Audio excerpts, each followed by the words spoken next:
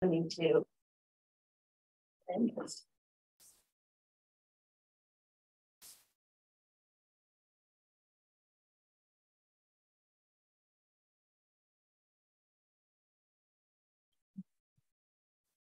Yes. That's what I never really expected.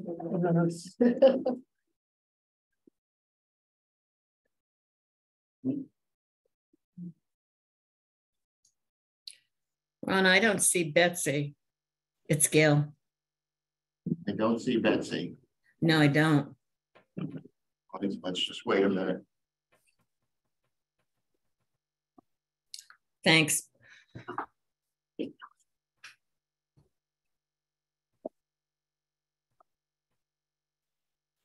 There you are.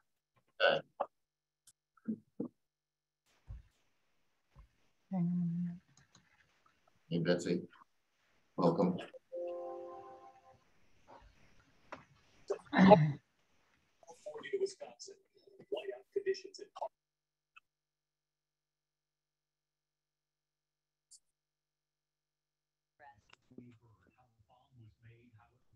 So um, I think we can get going. So I'd like to welcome everyone to the hybrid planning board meeting of December twelfth. And right now I'd like to take a call to order. Ms. Creighton, Here. Ms. Delicio and Ms. Foley both sent me an email that they are sick tonight.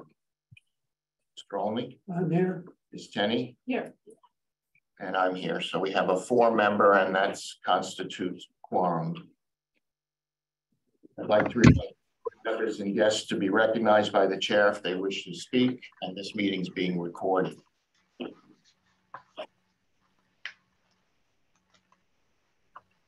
First item up is acknowledge receipt of correspondence, and then we received a letter from Lorraine Iavoni on eleven thirty.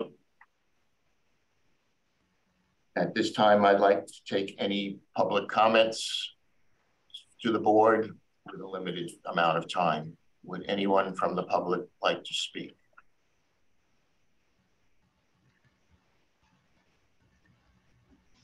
Okay.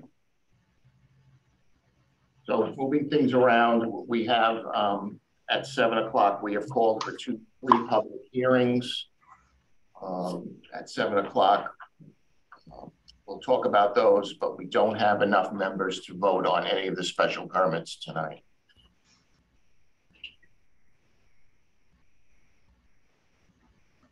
So I'm taking some items out of order to, um, before the seven o'clock hour. And the first item I'd like to take is the Board of Health proposed regulation comments that were distilled. And, um, Betsy, you did not get a chance to do that? I did not, can you hear me? Yes.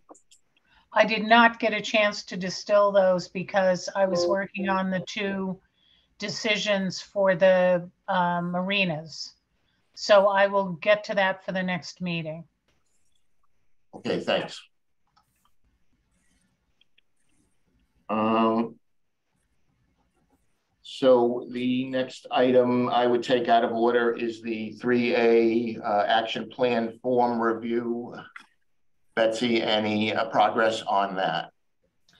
Um, I had a meeting with Greg and also uh, a short discussion with Sarah Mellish about it. And I am working on that and um, anticipate that um, it will be done probably within the next two weeks.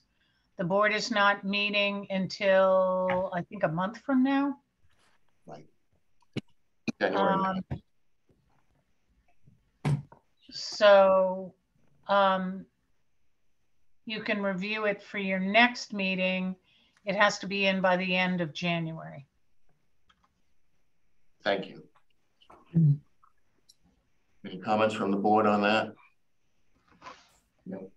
So uh, with the, uh, with the leaving of Gary Gilbert, uh, three liaison uh, positions have opened up. And I'd like to just fill them in just until the um, new um, person gets elected to the planning board. And those three positions are um, uh, one liaison with the building inspector and, um, and I, I've asked Sarah Creighton to take that on. Any issues with that? No, that's fine. On, uh, we need a liaison to the ZBA, and since, uh, Chris has been working with Sarah on recodification, I've asked Chris to take that on. Sure. Thank you. And then there's an opening for the Library Board of Trustees liaison position. Anyone interested in that? I can take it. This is just an interim thing, right? Until we get. the We did, I'm sure. Okay, Laura, thank you. Sure. Um. So the next item I have, um, I've delayed the traffic study report. He should be giving us a presentation at seven thirty. Um, He will be, he will, I just talked with him, he'll be on, um, he'll be ready between seven and seven fifteen. Okay, great. Thank you. Uh, Ron, this is Christine. I'm here. Okay. Okay. Um, and I, I have had my hand raised for a bit, and I just did want to make a comment. I mean, just going through some of the 3A background information, there is a footnote on our, um, the town's, there's been some kind of a change to our numbers of units of data. I was wondering if the town has officially received a letter from the state and why there's a footnote on the website. It's dated 1021.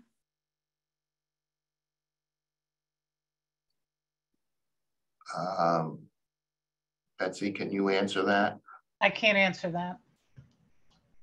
Is Greg on? I'll find out the answer, but I can't answer that right now. Great, thanks. And so then the other thing I was just, you know, browsing other communities and I'm concerned that the planning board is not taking the lead on this. I understand what the state requires, the CEO of the community, but every other community, um, it's the planning board, the planning department taking this and taking charge and getting input from other communities. So I am concerned. I mean, obviously we need input from everyone, but um, Betsy's an interim person, Sarah Mellish. I mean, we are elected officials. We are the people in charge of zoning. So, you know, taking charge and filing this form is one thing, but um, we as a planning board should be doing this work. We should not be farming this out. Obviously, Betsy needs to help us, but we should be driving this bus. So I just need to put that on record that we need to take this back and take control of this. This is zoning. This is our lane and we're in charge of it. So I, I don't know why. I mean, Sarah Mellish isn't part of part of this at this point. I mean, obviously the ZBA and FinCom all needs to be put input, but we as a board need to be driving this conversation. I think the select board was looking into forming a task force on this. Um, I don't know if that's happened yet, but I, I think there was some discussion on getting other, uh, boards involved. Um, Ron, the bottom line is this revolves around zoning. We should be doing what we need to do to figure out what zoning makes sense for us. We are the zoning board. This is our charge. Laura? We have a professional planner. We're not farming this out. This is the professional planning staff giving us assistance in preparing the form, which he's perfectly competent to do. We'll look at it as a board. We'll have a chance to comment and then we'll we'll file it. And I'd like to request that we get back to an agenda that we can follow and not have conversations just scattered. Uh, We should all be able to make comment, but let's please stick to the agenda and um, go about this. My hand was raised during the agenda, Laura. It wasn't recognized and I don't want it to be brushed over. Okay, the, the, uh, the agenda item was to, on the form, but we we can move forward on, um, how we want to proceed. We'll put it on the agenda for next time. Okay, um, uh, we still have time, so I think what we would start, uh, now, um, Sarah, if you wanted to take some time to talk about our next proposed work plan for Springtown meeting, um, Um, and your thoughts on that, and if we can get through some of it tonight, that'd be great, uh, otherwise, uh, at seven o'clock, we'll move on to the, uh, Um, do you want to, can I share my screen? yes. Uh, where are you? Oh, I have to be signed in, sorry. I don't see you. I'm not signed in. Ah. I'm sorry. Sorry, Okay. Just not. Um. Well, I think I can actually, I, I can do it without sharing my screen. So, um. We, uh. I actually think that, that, um, a work plan for any of the actions that we're taking, perhaps related to the prior discussion is useful. And so I laid out for us, um, the schedule, um, I should share my screen. Um, the schedule of, um, meetings prior to the next town meeting. So working backwards, uh, town meeting is April third. I checked with Greg and the warrant would need to be finalized on March sixth at, at the select board meeting, which puts us with a public hearing at the latest on February twenty-seventh. I'll put this in the planning board packet. Um, which means the, um, we need to post a hearing on February sixth. Um, that hearing could be more encompassing than what we finally present, can't be less. So, um, so I propose that on the thirteenth of February, we would finalize topics for the public hearing. Um, and that we would have a special working session if needed on January thirtieth. Uh, January has five Mondays, just so, um, it's lucky us. Um, and then I also proposed a couple of subcommittee, uh, meetings of Chris and me, posted meetings to just discuss proposals to the board. And then working back even further to our next meeting, January 9th, um, is that we make a decision about sort of go, no go, or change um, our position on the articles. Um, so I, uh, you know, we've passed, uh, successfully passed at town meeting four of the 12 that we had proposed. Two, I think, are administrative, um, adult entertainment in section 12. And um, six, the remaining six are what I call policy changes. So I think personally, I think it's probably optimistic to try to do all of those at a annual town meeting. But I think we had talked about the administrative ones being um, fairly straightforward. Mary has identified a number of typos in the existing bylaw, which we can and should um, address um, in the in the town meeting, and then perhaps we can talk in January um, about um, what I'm what I'm proposing. A subcommittee meets and makes some recommendations back to the full board um, on how to proceed with um, the others. Those others being residential conservation cluster amendments, a new senior housing bylaw, amendments to the non-conforming section. And I say that because they were amendments, but they were really, they were presented as a rewrite. Um, a new section for ADUs, the ADU removal of the 1990, 1984 double lot and parking requirements, changing the parking requirements, and the family living quarters for family members in addition to an employee. So those are the topics that we would be talking about. Um, so I think it's a pretty aggressive schedule. I personally have a hard time. I don't think that um, select board will want us to take up all of those policy changes, but perhaps we can select a limited number um, or a limited one or two. But I think we can do that. Um, so I guess um, I would like to ask for a motion to um, have Chris and me continue as the subcommittee and that we would post some meetings um, uh, and that people pencil in a January 30th working session on this topic.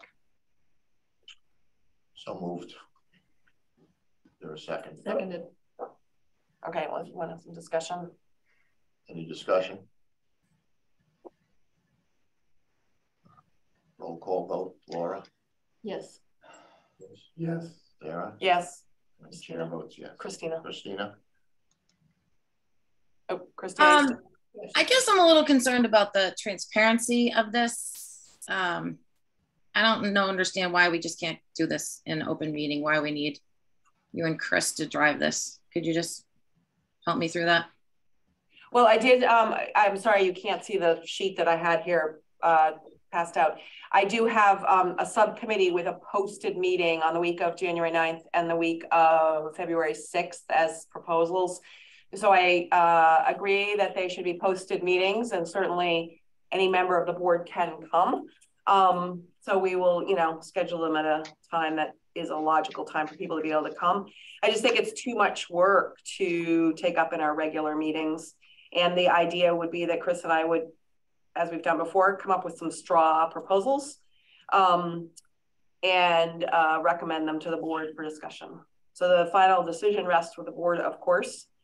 Um, so the other piece that I think is important is to remember that as of now, we have voted to move forward those remaining eight articles. And so therefore, you know, whether we, now the time frame has changed, but we should um, either move them forward or revise our statement of action. Right, and I think the public hearings all need to be redone, so. I mean, Absolutely, though. So the public From the public to make sure that they're still on board too, and make sure that we hear any further comment. I guess I, I'm just a little concerned about just high level conversation. Are we still involving Bobrowski? Um, can everyone on the planning board, is there a quorum issue if the entire board wanted to attend? I guess those are just my high level concerns. I don't think there's a quorum issue if we post a meeting. Okay, I- I'm fine with it then, yes.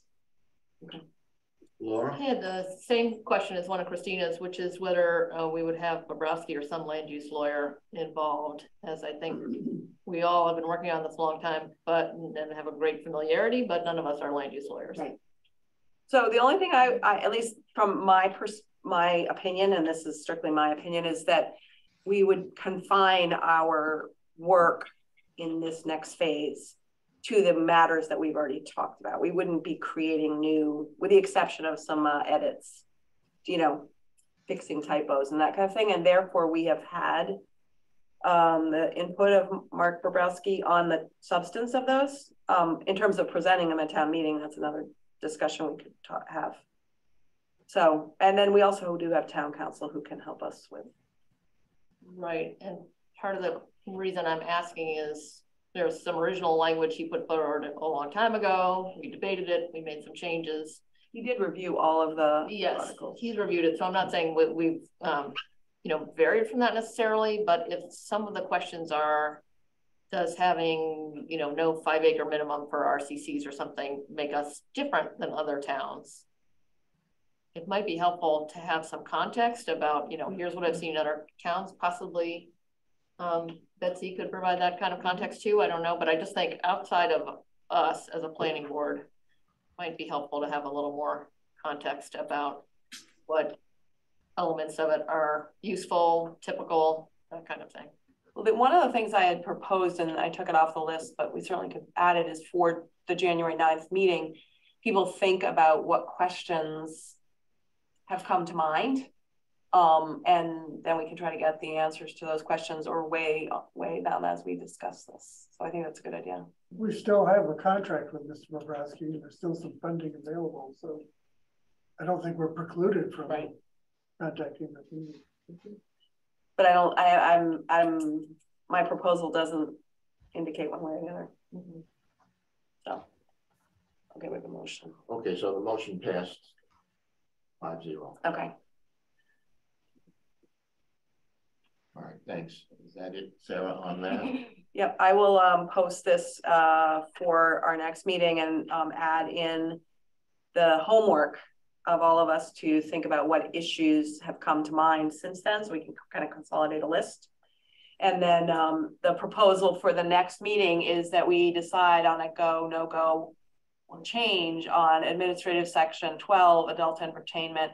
And I propose non-conforming use, because in my mind, that's a easy discussion, but maybe it's not.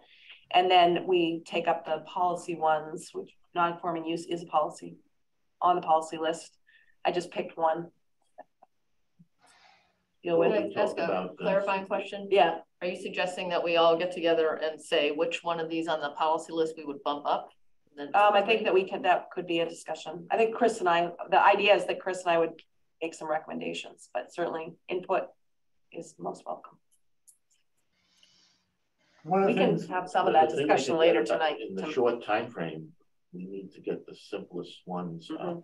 and Well, I'm actually thinking we might be able to have that discussion maybe later after this parking study, if we want to come back to it tonight. yeah, and I'm working on a uh, memo to the board from me about senior housing. I think there's a lot of misunderstanding about um, what senior housing entails, what the various options are, why it's important to allow it in every zoning district and not just in some. So, um, well, as soon as that, it'll probably take some time to do it, but once it's done, we'll put it onto SharePoint so they can be aware of it. Okay. Thanks. Have ten minutes. You want me to, want to talk about those things then? Yeah, that'd be good. We can talk about, Um, uh, the items. Somebody has their hand up. Betsy has her hand up. Uh, Betsy, go ahead, sorry. Yeah, um, so under 40A, section six, there's a provision that basically says the Board of Selectmen are supposed to finalize the warrant and they provide a list of articles that the board is supposed to be um, holding hearings on. So it seems like the timeframes here are very tight. So if somebody put in a petition article, say the last day of um, what was allowed, um, the planning board may not have enough time to hold the hearing prior to town meeting. That would be for petitioners articles, not for zoning, right? Um, well, it could be a petitioner's article that's a zoning article. So, uh, well, I don't, the, the question I asked Greg was when would the, um, warrant close for, um, maybe Greg can answer this. Petitioners articles may have a sooner deadline. Greg is. Greg, did you have, can you help us out? Um, yeah, so the petition articles are due um, 60 days prior to um, April 3rd. So they, they will be due the 1st of February. That's by our, Okay. that's by our town charter. It's a Okay, by, it's a bylaw.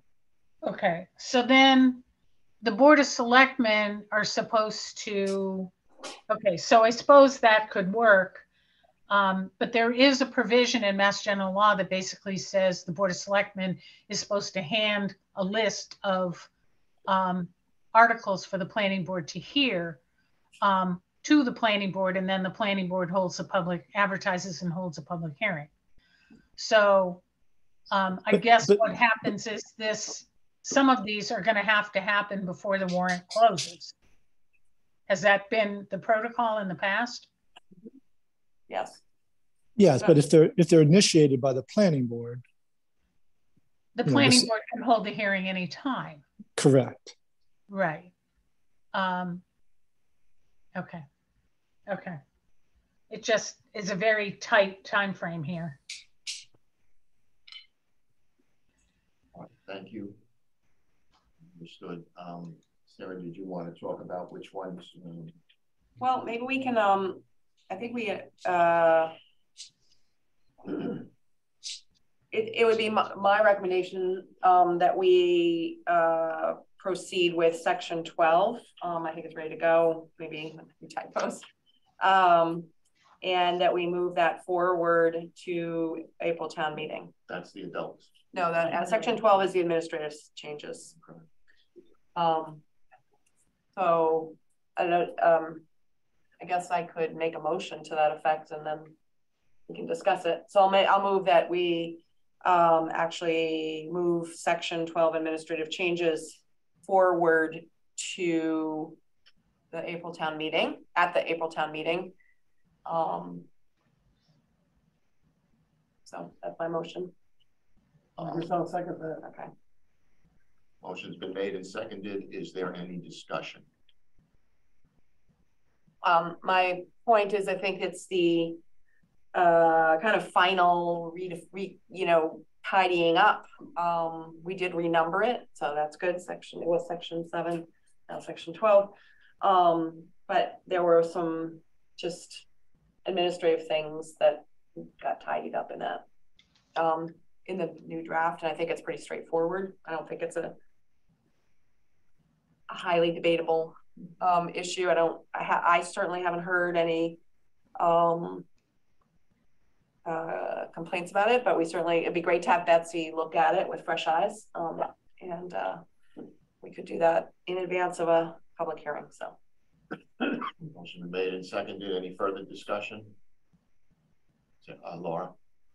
So the um administration section you said contains some typos, but then down at the bottom, we've got other typos and other administrative. Right, that a so one? separate. So one of the things that, um, if you recall, there was a amendment to the motion on town meeting. Oh, you weren't at town I wasn't there. There were a couple of them. And then there, uh, Mary has identified a number of typos in the, um, sections that we were not taking up at town meeting. So we should do those as well. Right, and we're gonna try to do those separately so that we can get the typos Right. separate and understandable for people and then talk about the Yeah. content. Of course, these could all be in the same article. We could have them in the same article or not. We, how we format it is a matter of strategy, I think. Okay. Okay, Any further discussion? Christina, any Roll discussion? Roll call vote.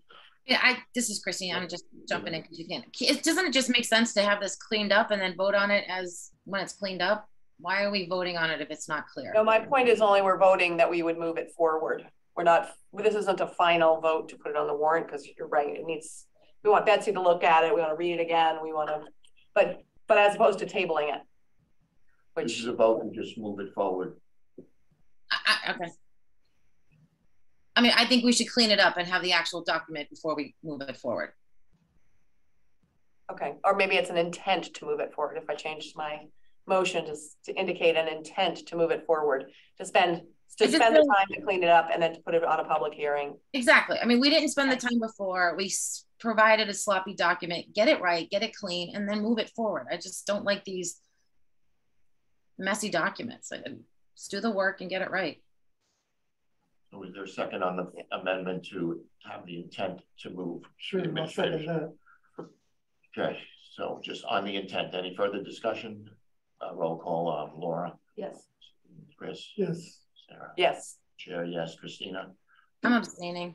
okay, and the second one I would move, move, move to intend to move it forward to the public hearing and then to the town meeting would be adult entertainment. That's, um, something we need to do, again, pretty straightforward. Second, is there a second on that? second. Any discussion on moving the intent to move adult entertainment, moving it to the LCD? Well, Not. Regulate adult regulate, entertainment, Regulate. Roll call vote, yes, What's the other hand up? Oh. who has the hand up? Betsy did. Betsy, go ahead. Um, so where would the adult entertainment, um, district be located? it's already only allowed in the LCD, Okay, but it has no regulations currently, so you can do whatever you want. Roll call vote on the intent to move, move forward on adult entertainment. Yes, Yes, Yes. Chair votes yes, Christina, Yes. okay. Um, so you wanna take the others right now or? Well- The other one's probably takes a little longer than two minutes, so we'll, we'll hold on that one for a moment. We'll come back to it at the end. Okay, um, two minutes left. Does, has anyone read the minutes of 926 or 104? And, uh, oh, I did.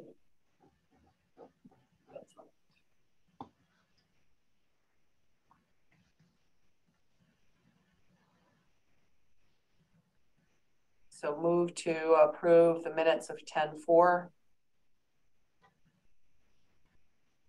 As written, I'll second that. Motion's been made and seconded. Is there any discussion? I I was reading my notes about things I wrote down. There's one that I think I wasn't at, but I'm forgetting which of the two meetings it was, so whichever one I wasn't at, I won't vote on. all right, Okay. Any further discussion? Move to approve, uh, yes. yes, Yes, Yes. Yes, for the one you Yes, I attended. lied about Christina? Approval of the minutes. Christina vote? Yes. Yes. Okay, minutes approved. And then, oh, do we approve both of them? 10, 9, 26? Yes. Okay. Motion was for both, Both, and yes, Laura's okay. just, I think it says which one I was present at. I apologize. I don't have it in front of me. I can't remember. Uh, you were present at the 926. Okay, okay, seven o'clock. So, um, with Christina being here, I think we have enough to vote on the floats. But I don't think with Mary not here and, um, Sarah, um, recusing herself, we don't have enough to, um, vote on the Manchester Parks and Rec.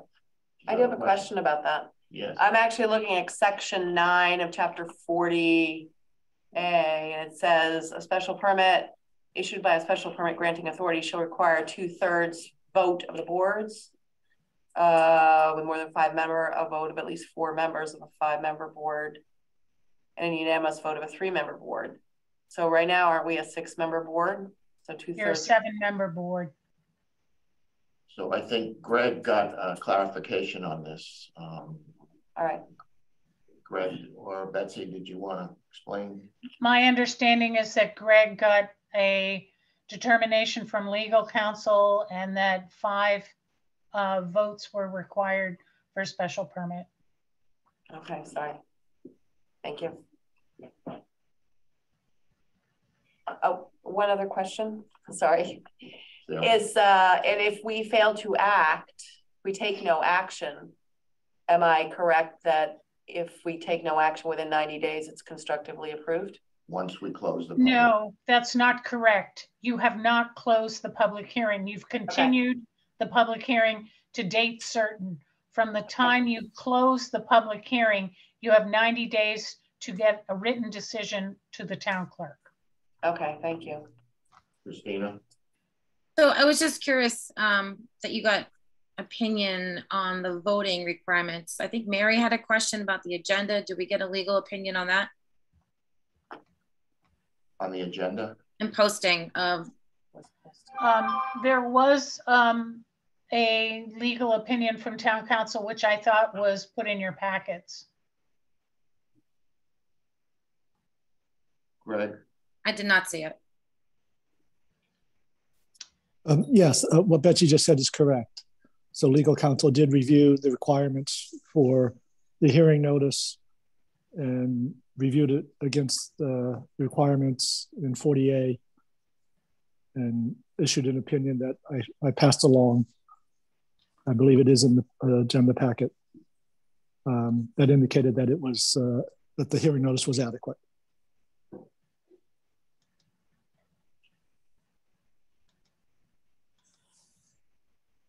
okay, so, So, um, sorry to interrupt, but, um, the Audi from Audi from MAPC is on, um, the Zoom meeting. Oh, he can hear now. Good. Okay, never mind. So Audi from MAPC is, uh, available. okay, so, uh, again, a change of plans with uh, Christina here and, um, we were able to vote on these floating docks, so, uh, Audie may we have to put her off a little bit just until we we get through these. I'd like to open a continued public hearing on a special permit application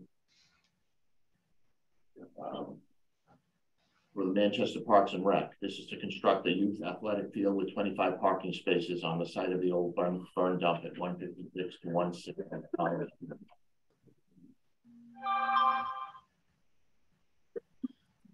At this time, since we don't have a quorum to vote this, I'd like to continue the public hearing until our next meeting, which is on January 9th.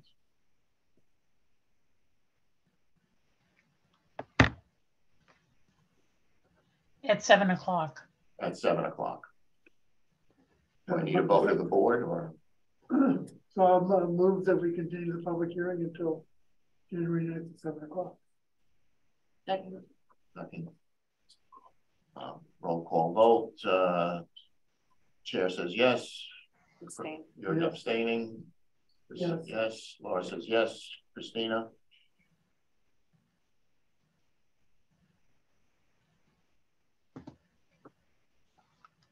Christina, you're on mute. Sorry, yes. Okay. So at this time, I'd like to open the continued public hearing on the special permit application for Crocker Boatyard. The Harbor Advisory Committee met on December seventh. The meeting was attended by me, Sarah Creighton, and Town Planner Betsy Ware. I acknowledge the application, the applicant in attendance, and do have, and do you have any comments at this time? I will turn to Betsy to advise the planning board on the results of the Harbor Advisory Committee meeting. So the Harbor Advisory Committee, I got their notes today around noonish. I um, asked uh, Gail to put them on the um,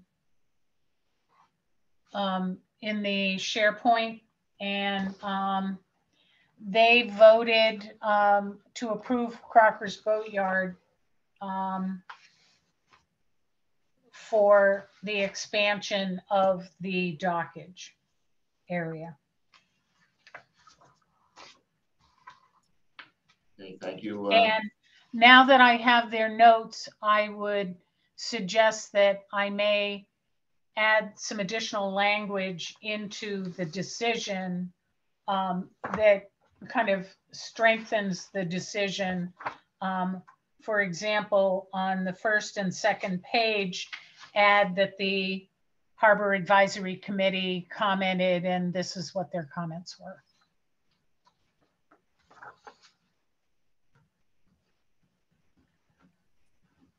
Okay, um, thank you.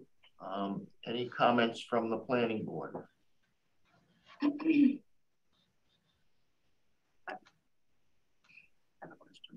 Uh, Sarah has a question. Um, this is a question for uh, consultant Ms. Susan. Thank you. Um, when you um, presented about the Chapter 91 license, you indicated, and I looked it up, that there were two pathways for the same structure. One is if it's uh, related to a water related um, use, and the other would be if it's related to something else. Um, and is that something else like condos that would then have docks out front? Or what's the something else? What's the other path? So, If you have a use that includes any. Maybe you stand, can, can the audience here. Under the chapter ninety-one regulations, there are two types of uses that they define. Water dependent uses, which are uses that are, that need to be on the water. Mhm. They depend on the water for their location. And then the other uses are non-water dependent uses. They don't need to be on the water. Sometimes you might have a residential development that has docks, so it has some water dependent uses and some non-water dependent uses. But the chapter ninety-one regulations would define that whole project as a non-water dependent use, even though there's water dependent components. Okay. And there are different standards for water dependent versus non-water dependent. Okay, so then my question is for Betsy. Um, is it possible to condition, to have a um, piece of these, either of these uh, permit, these special permits, um, say that they are um, approved or relevant or whatever the right word is, um, so long as they qualify as water dependent uses within the chapter 91 definition. My thought is in sometime in the future, um, the boat yards, which I think we are trying to encourage the business of boat yards, the servicing of boats for the town, and those uses might become waterfront condos. And it seems to me then we'd want to take another look at the use because that premise, at least that's important to me, for supporting the the broad uh, business interests, small business interests, and uh, water service, you know, water service interests are important and therefore would change. So I guess my question for Betsy is, would that be an appropriate addition to a special permit? Or I guess for the board? And I can add a little to that too. Yeah. Or maybe the applicant has a comment, I don't know. I don't see any problem with adding it as a condition of approval that, and encouraging water dependent uses, given the history of both of these properties. Um, it could be put in as, um, a finding and, um, it could also be put in as a condition. Yeah, okay. And if I may, the license itself will state that it's a water dependent use. And any change to the use that's authorized under the license would require uh, either an amended license or a new license. And if, if a change were to be a non-water dependent use, it would require a new license. Okay. So it's consistent, so to put that into our special permit is consistent with the, um, the, um, chapter ninety-one. Oh, Christina has her hand up. Christina? Thanks. Um, in the decisions, both of them, I didn't see anything um, addressing the public benefit. Um, so in the Crocker decision, um, one of the conditions was that, wait a minute, hang on a minute. Um, Number six. One of the conditions was that the Manchester by the Sea lobster fleet can use the expanded floating dock area off-season. Um, and that they were going to contribute um, funding for design and fabrication of safety signs for paddleboard and kayakers in the harbor.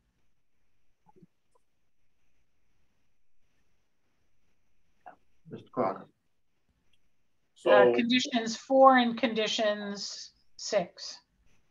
Thank you, Betsy. Mr. Crocker, have uh, so I was thinking about, the- I've been kind of tied up with some personal business, so I haven't really been focused on this. Um, what occurred to me today, uh, part of the deal with the fishermen was also, whenever possible, to maintain access to Morss Pier. My tugboat does have ice breaking capabilities, I've also done that for the town, which I would continue to do as long as I have the tugboat. So Are you suggesting that uh, in lieu of the helping the lobster fleet? I think, in addition to, okay. you want to throw that in on Yeah. the, I also Um, think. I'm sorry, I didn't get that.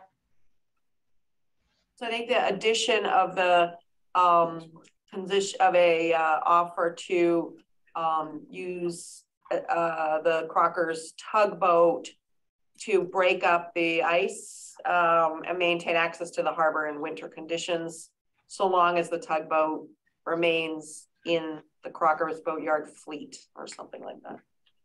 Um, during the last dredging, I. I think we should. the Ice up until I lost my rudder. and, and serviceable. Um, so the other thing is we might want to. Uh. I mean, right now the lobster fleet is how many? Do we want to limit that to a number, uh, you know, up to five boats or something like that, or up to? I mean. Not sure the lobster fleet. fleet's, as many as they want to accommodate. okay, It's slowly going down. Yeah. so you're not concerned that you're gonna have a. Fleet of thirty or something, You know, it'd be nice to have that. okay. Okay, Chris. Laura? I have some questions and they're, um, I just have a few and they're somewhat unrelated to each other, but just for clarifying.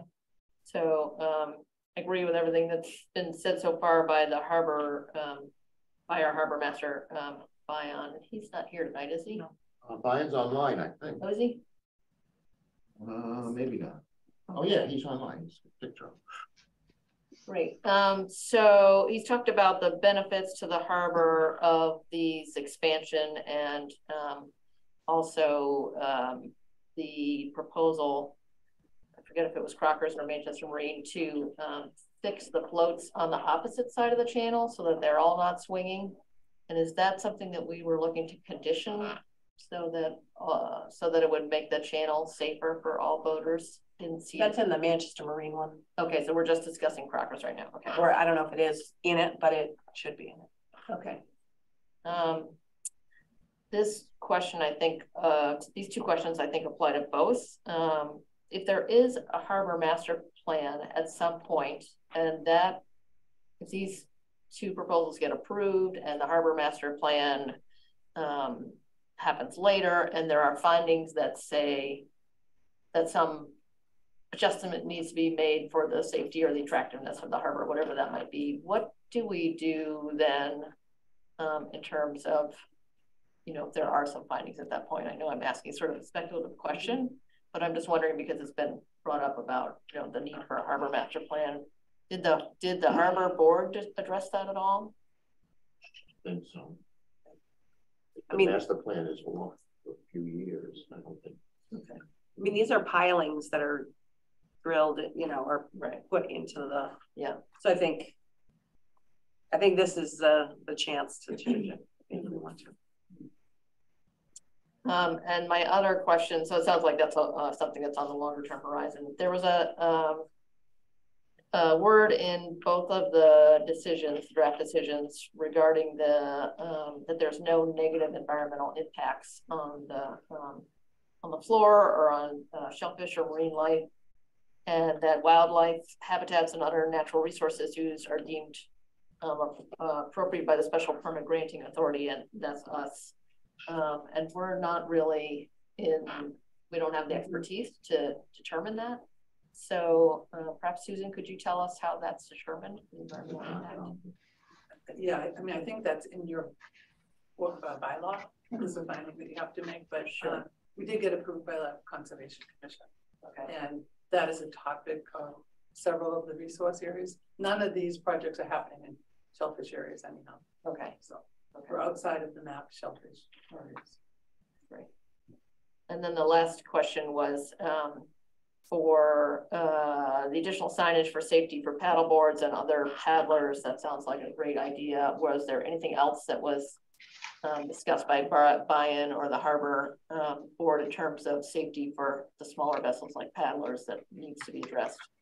That I know Um, so I raised that with the harbor committee and they didn't feel that there was a, um, uh,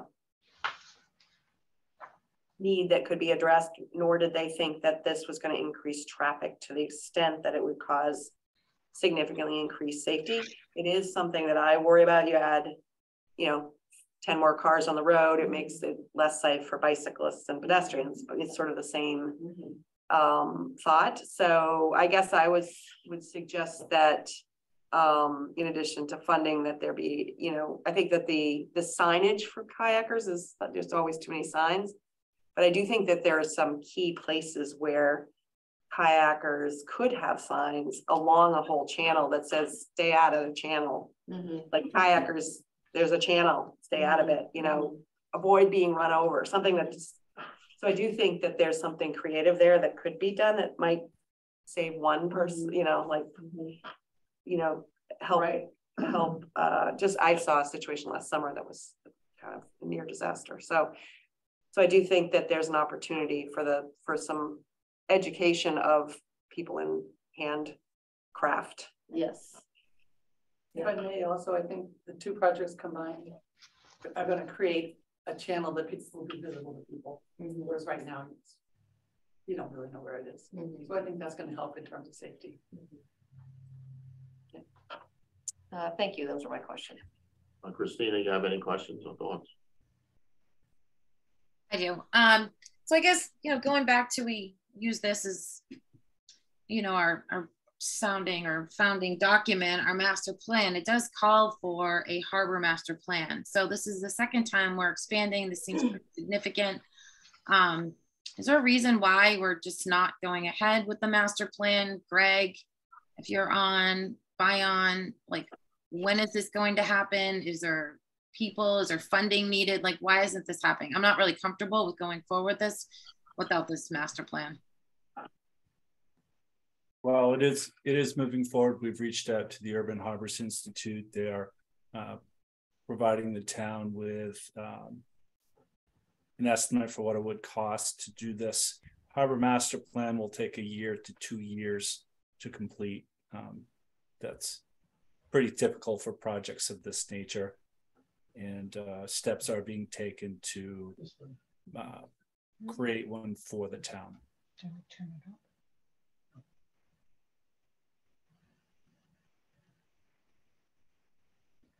Any more comments or questions? Chris only.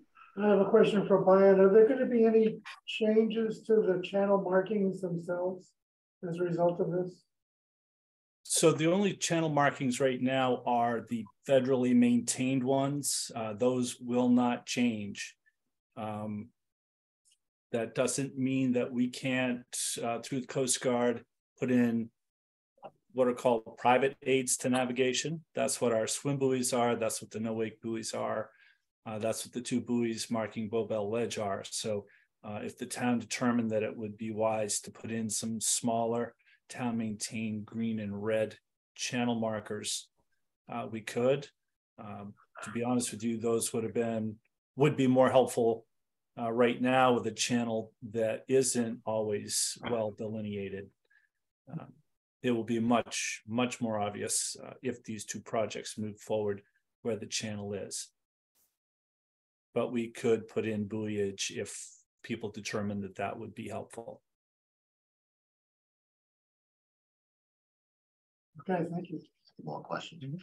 Um, the, I, I would like to actually see that the decision add, um, one more condition, which is something along the lines of, um, that, uh, um, vehicles associated with this addition shall be parked on Crocker's Boatyard and Manchester Marine, you know, uh, property and not on the public street. They'd be parked on, on On the, yacht boat club. Parking on Ashland Avenue as it stands. that doesn't mean people will park there. I know. All the contractors in town park on I that. Yes, park, uh, park, that parking. I mean, they have enough parking, it's kind of obvious, but So they're parking on the property as opposed to the public way. Yep. Ron, I have a follow-up question. I mean, is it appropriate to put in this decision that no more expansion will happen until a complete Manchester master harbor master plan is complete? Does that sound reasonable, Betsy? Um, my concern is that if we don't get funding, um, then that could be, the years could be pushed out. So, um, we can get the funding at town meeting, right? So we don't have to rely on grants. So uh, this is the second expansion without a plan. There is concerns of public taking of land. I'm not really con- convinced of the public benefit. So I am concerned of this ongoing expansion without a plan. Becky. Becky, you have a comment on that? Uh, yes, I do.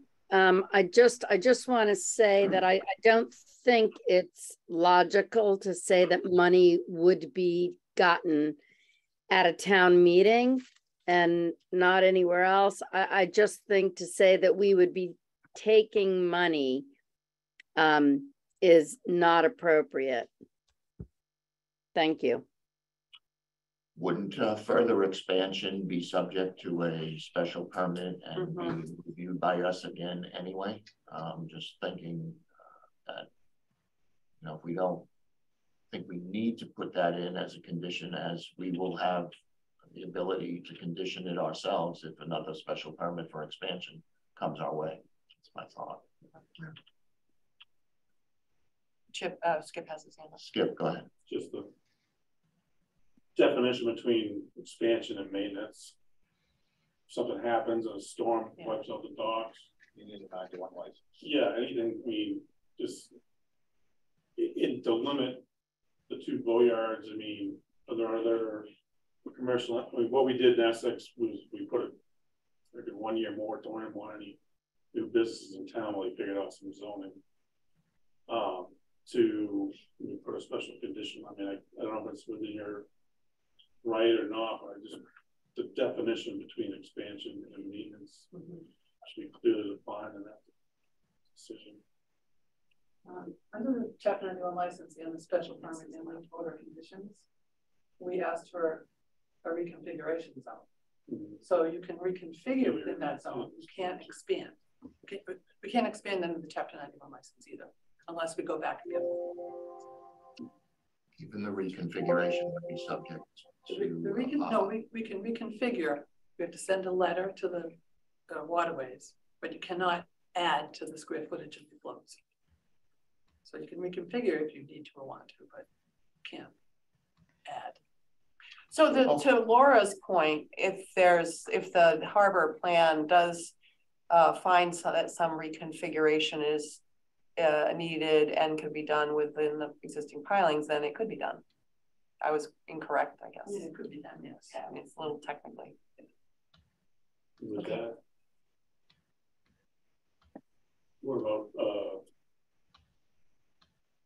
other changes to upland on land facilities? Whatever restriction I, That's not, I'm just making sure. just not subject to this. No, not subject to this, no. So, okay, um, we're done with Yeah, questions? I'm sorry, can I ask one more question? Who, is there a, is there a next step with the chapter ninety-one or who determines that the public benefits are appropriate? Is that Mass DEP or, you know, what happens next? So we haven't applied for the chapter ninety-one license yet.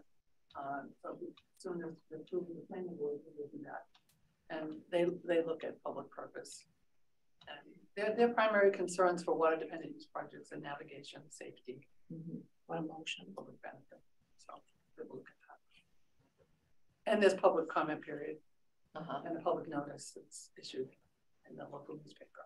So people can comment. Okay. I guess my, I think that that's all reasonable, certainly, the process. Um, and I think the signage for paddlers is a great benefit. I, um, I, I wonder whether through the harbor master process or, you know, are there, are there things that we can continue to do to make the harbor safer and more comfortable for the smaller boats as we increase the, um, larger boat traffic? And I'm not saying that all has to happen in this project, but we should be mindful of it. So I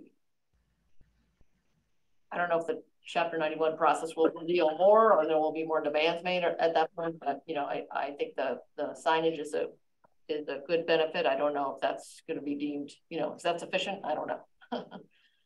So the. Bion, Bion, go ahead. Yeah, Uh, so the the single biggest thing that's going to help the paddle boarders be safe uh, after signage, which any information that we can get to the uh, these boaters who are uh, in most cases entry level boaters is education, education, education, uh, and I guess I, I might suggest that on the signage we we recommend it and um, steer them towards it. Um, through maybe a link on the signage. So uh, just just throwing that out there. I, I, education is the real answer to making them safe. Thank you, Bion. Uh, Betsy? Um, I just had a comment in that, um, any improvement that they do are tied to the plans and anything beyond that, they have to come back to the planning board. So, um, to address Christina's comments, they can't expand or do anything beyond what it was in their application. Okay, so let's, moving forward, um, this project has been endorsed by the Concom, the Harbor Master, unanimous vote by the Harbor Advisory Committee. And we've certainly vetted with conditions on the decision. This, this, we need all five members to vote in the affirmative for this to move forward. So at this point, I would like to take a straw poll of members on moving this forward. Great. Um, I will vote yes. I vote yes also. Penny? yes. Chair will vote yes. Christina? My concern was not addressed. Excuse me?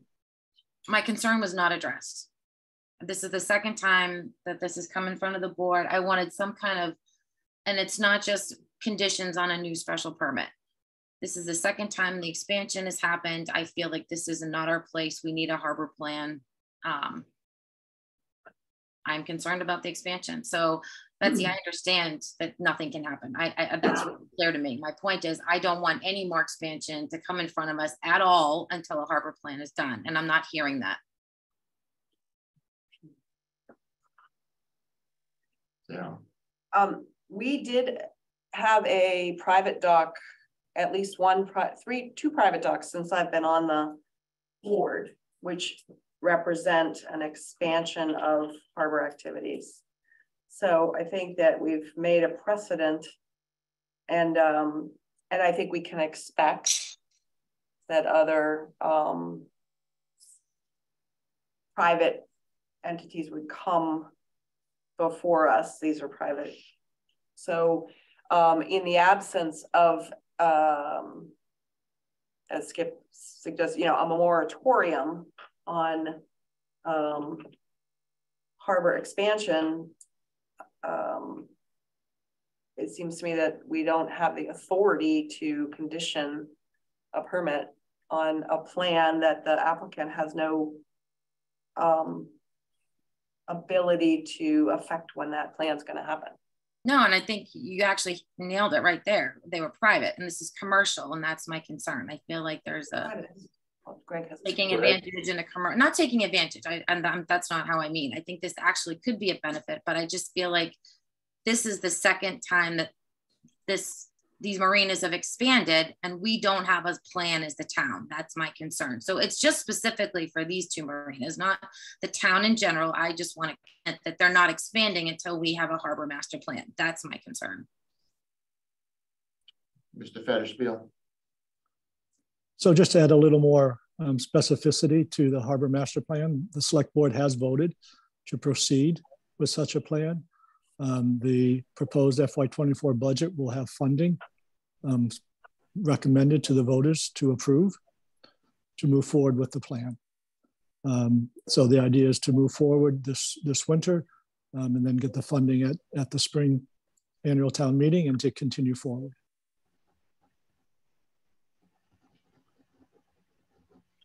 Christina, will that satisfy you?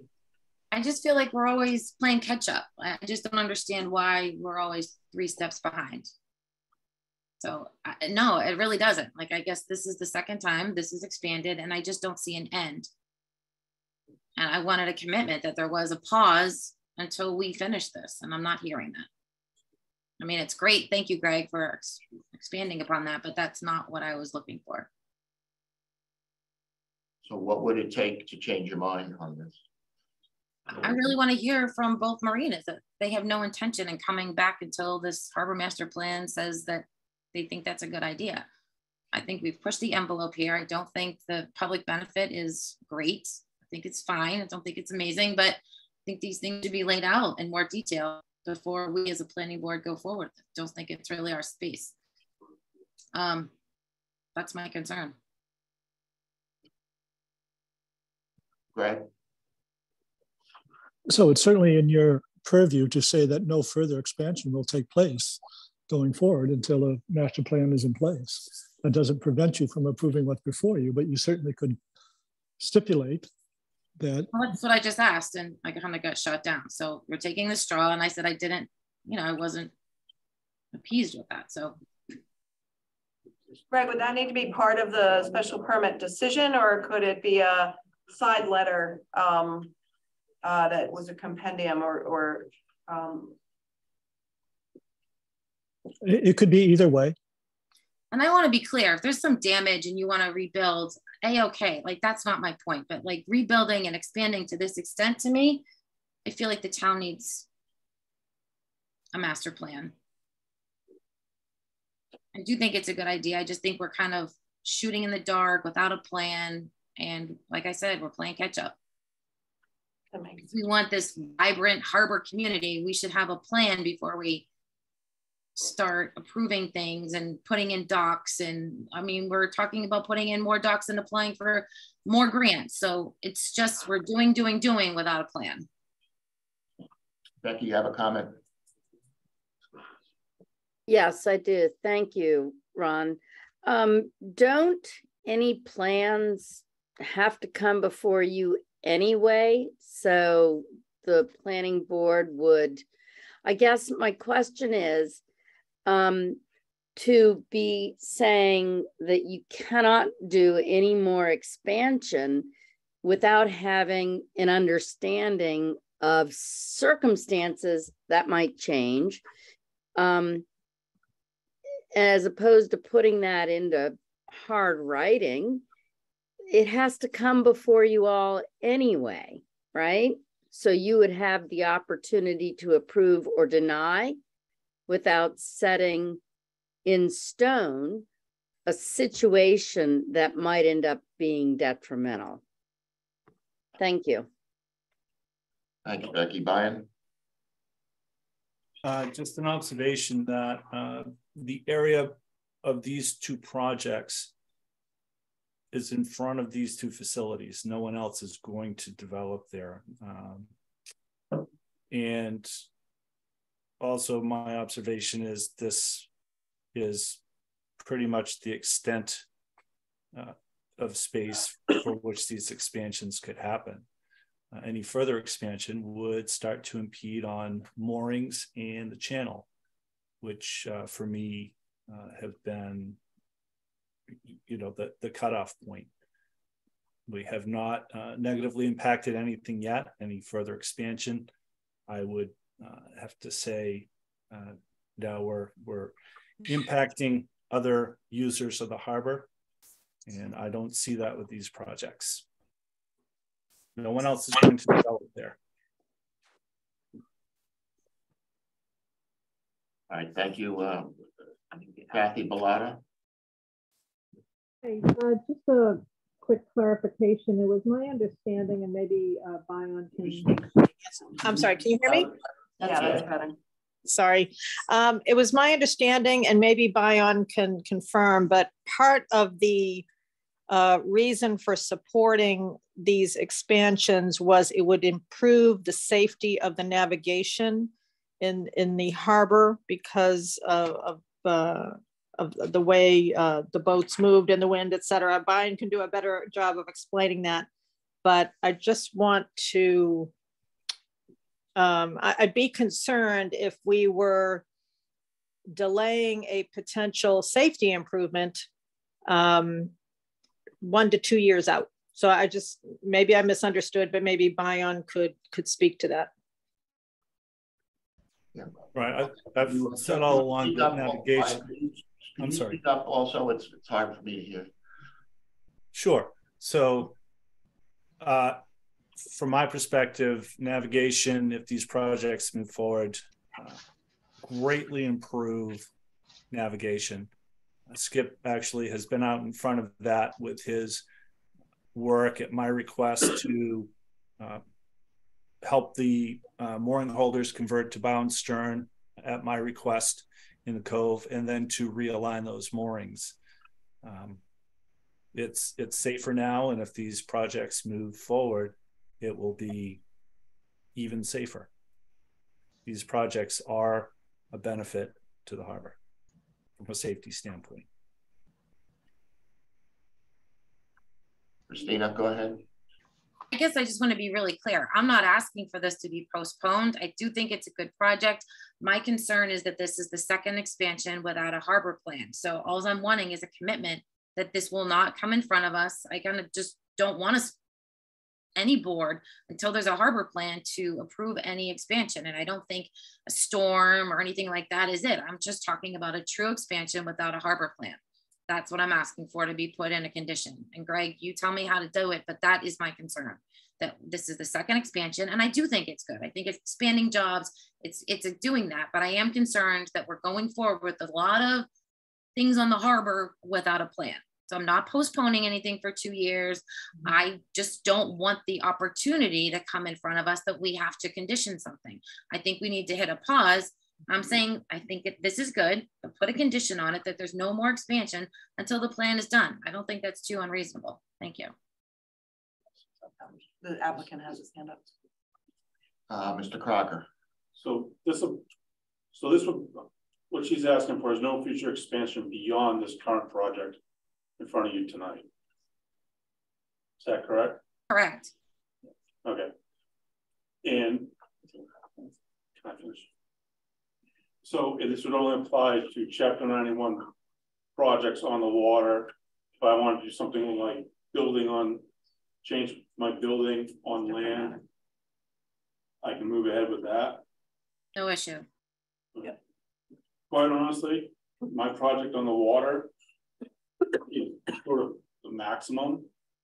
What I can do on the water. And it would take me two years to get permits anyway, so at this point, going forward beyond this project. I'm okay with the condition. So you're, um, sounds like you're okay with putting that, um, Sure. condition on. Can I make, can I make a suggestion for the condition? Um, if we were to add a condition that this, uh, um, that no further, uh, application for special permit that would extend this use, um, shall be, uh, considered by the planning board, um, until such time as the harbor master plan has been completed or three years have passed.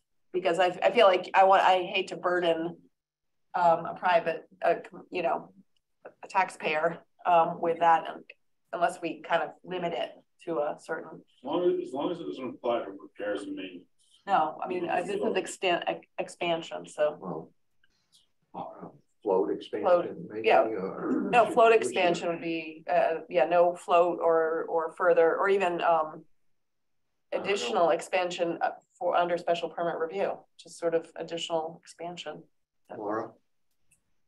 Well, we started off talking about the Crocker project. I don't know that we've talked about Marine, the Manchester Marine yet, but I, I do wanna, and we're talking about all these conditions, and we did discuss with Bion, I apologize for jumping ahead, about the fixed floats on the other side. So we're, having these larger conversations about conditioning the development of the whole thing, it sounds like, while we haven't yet had the conversation about fixing the float. Say, I, I'm totally with Christina about the need for a harbor plan. I think it's really important. I'm very glad to hear from Greg we started it. I do think it's very important to Manchester to support our blue economy. I mean, our, our healthy working harbor is, is critical to the, to who we are as a town. Um, and I, I have to put a lot of my faith in Bion and his expertise as our harbor master. If he says that it's an improvement to safety and navigation, and that there's not a negative impact on the harbor. And he too, I'm sure will have, you know, um, play a play an important role as we get into the harbor master plan. But if the, there's an improvement um, to the safety of all boaters, small and large, uh, private and commercial, then I, I at least, you know, I'm taking that as sort of the bigger, the biggest um, factor here is the um, is the testimony from Bion. Okay, so the language Sarah suggested of no ex- expansion for the next two, two years. I said three, Three three, years. harbor master plan or three years, whichever is sooner. Christina, would that be acceptable, that language? Yes, thank you, Sarah. Okay, uh, Betsy, you have that language? Got it. Uh, any, um, Motion. motion for that? So I move that we uh approve the special permit of Crocker's Boatyard fifteen Ashland Avenue. It's a special permit application for the expansion of docks um with the um draft decision as a as with amendments discussed tonight. Um, Will, will we approve this draft? Will the um I think we'll approve the We'll draft draft. tonight, Betsy, right? So I'm gonna write a draft, I'm gonna write all the um, conditions that you've added. And I'm gonna give it to Ron to review, and if he views that it's sufficient, he will sign it and the town clerk will get it stamped in. Okay, great. So that's my motion. Your second? I don't understand why we don't see the draft and vote on the draft. and the Final draft. No, it like- Because you don't have a meeting for another month. And I think it was felt that um, they wanted to get going, but I'm certainly willing to do it that way too. But conversely, I had Gary at the first meeting I attended saying, why don't we vote it tonight? Mhm. So I'm kind of confused about the process here. Gary's not here anymore. I mean, normally your planning board, one member makes, writes the decision, the other one checks it, and then it's done. So that's what I'm proposing. I'm comfortable with it. Okay. I mean, we have a draft. Yeah. We have a draft with, we've just added essentially parking and the time limited expansion. Okay. Comments from the harbor board. And you wanted language about the tugboat. Oh, and the tugboat. The tugboat, yeah. Yeah. Breaking up the ice. Okay, So a motion's been made and seconded. Uh, any further discussion? Um, roll call, uh, Sarah, Yes. uh, Chris, yes. Laura, Yes. uh, Christina, Yes. chair votes yes. Okay, um, sorry I made Addie come earlier. Uh, so, uh, Betsy, do I need to close the public hearing now? Um, yes, you can close the, pub. actually, we should, close. yeah, close the public hearing. Move hearing. to close the public hearing. I'll second. The motion made to move, close the public hearing on Crocker's Boatyard and made and seconded. Any discussion? Roll call. Yes. Yes. Yes. Yes. Christina Yes. and the chair votes yes. Closed. So now I'd like to open the continuation of the public hearing for Manchester Marine, voting docs, section 7.5, 4.1, point 10. Again, it says the same thing. The Harbor Advisory Committee met on December seventh. Uh, the meeting was attended by myself, Sarah Creighton, and town planner Betsy Ware. I acknowledge the application, uh, applicant in attendance. Does the applicant have any comments at this time? The the applicant happy to have the condition about the bottom health floating docks in place. So, thank you. Can we just, um, talk about what the language would be for Betsy, so we're clear on? Maybe you can help us Um, see what the words are. we had talked about maybe the first fifty foot long ones. Yeah, I mean, you could. Uh, So could you- condition it with, what was the could be at question? Bion's discretion as to, you know, what's necessary for the safety and navigation as the project proceeds.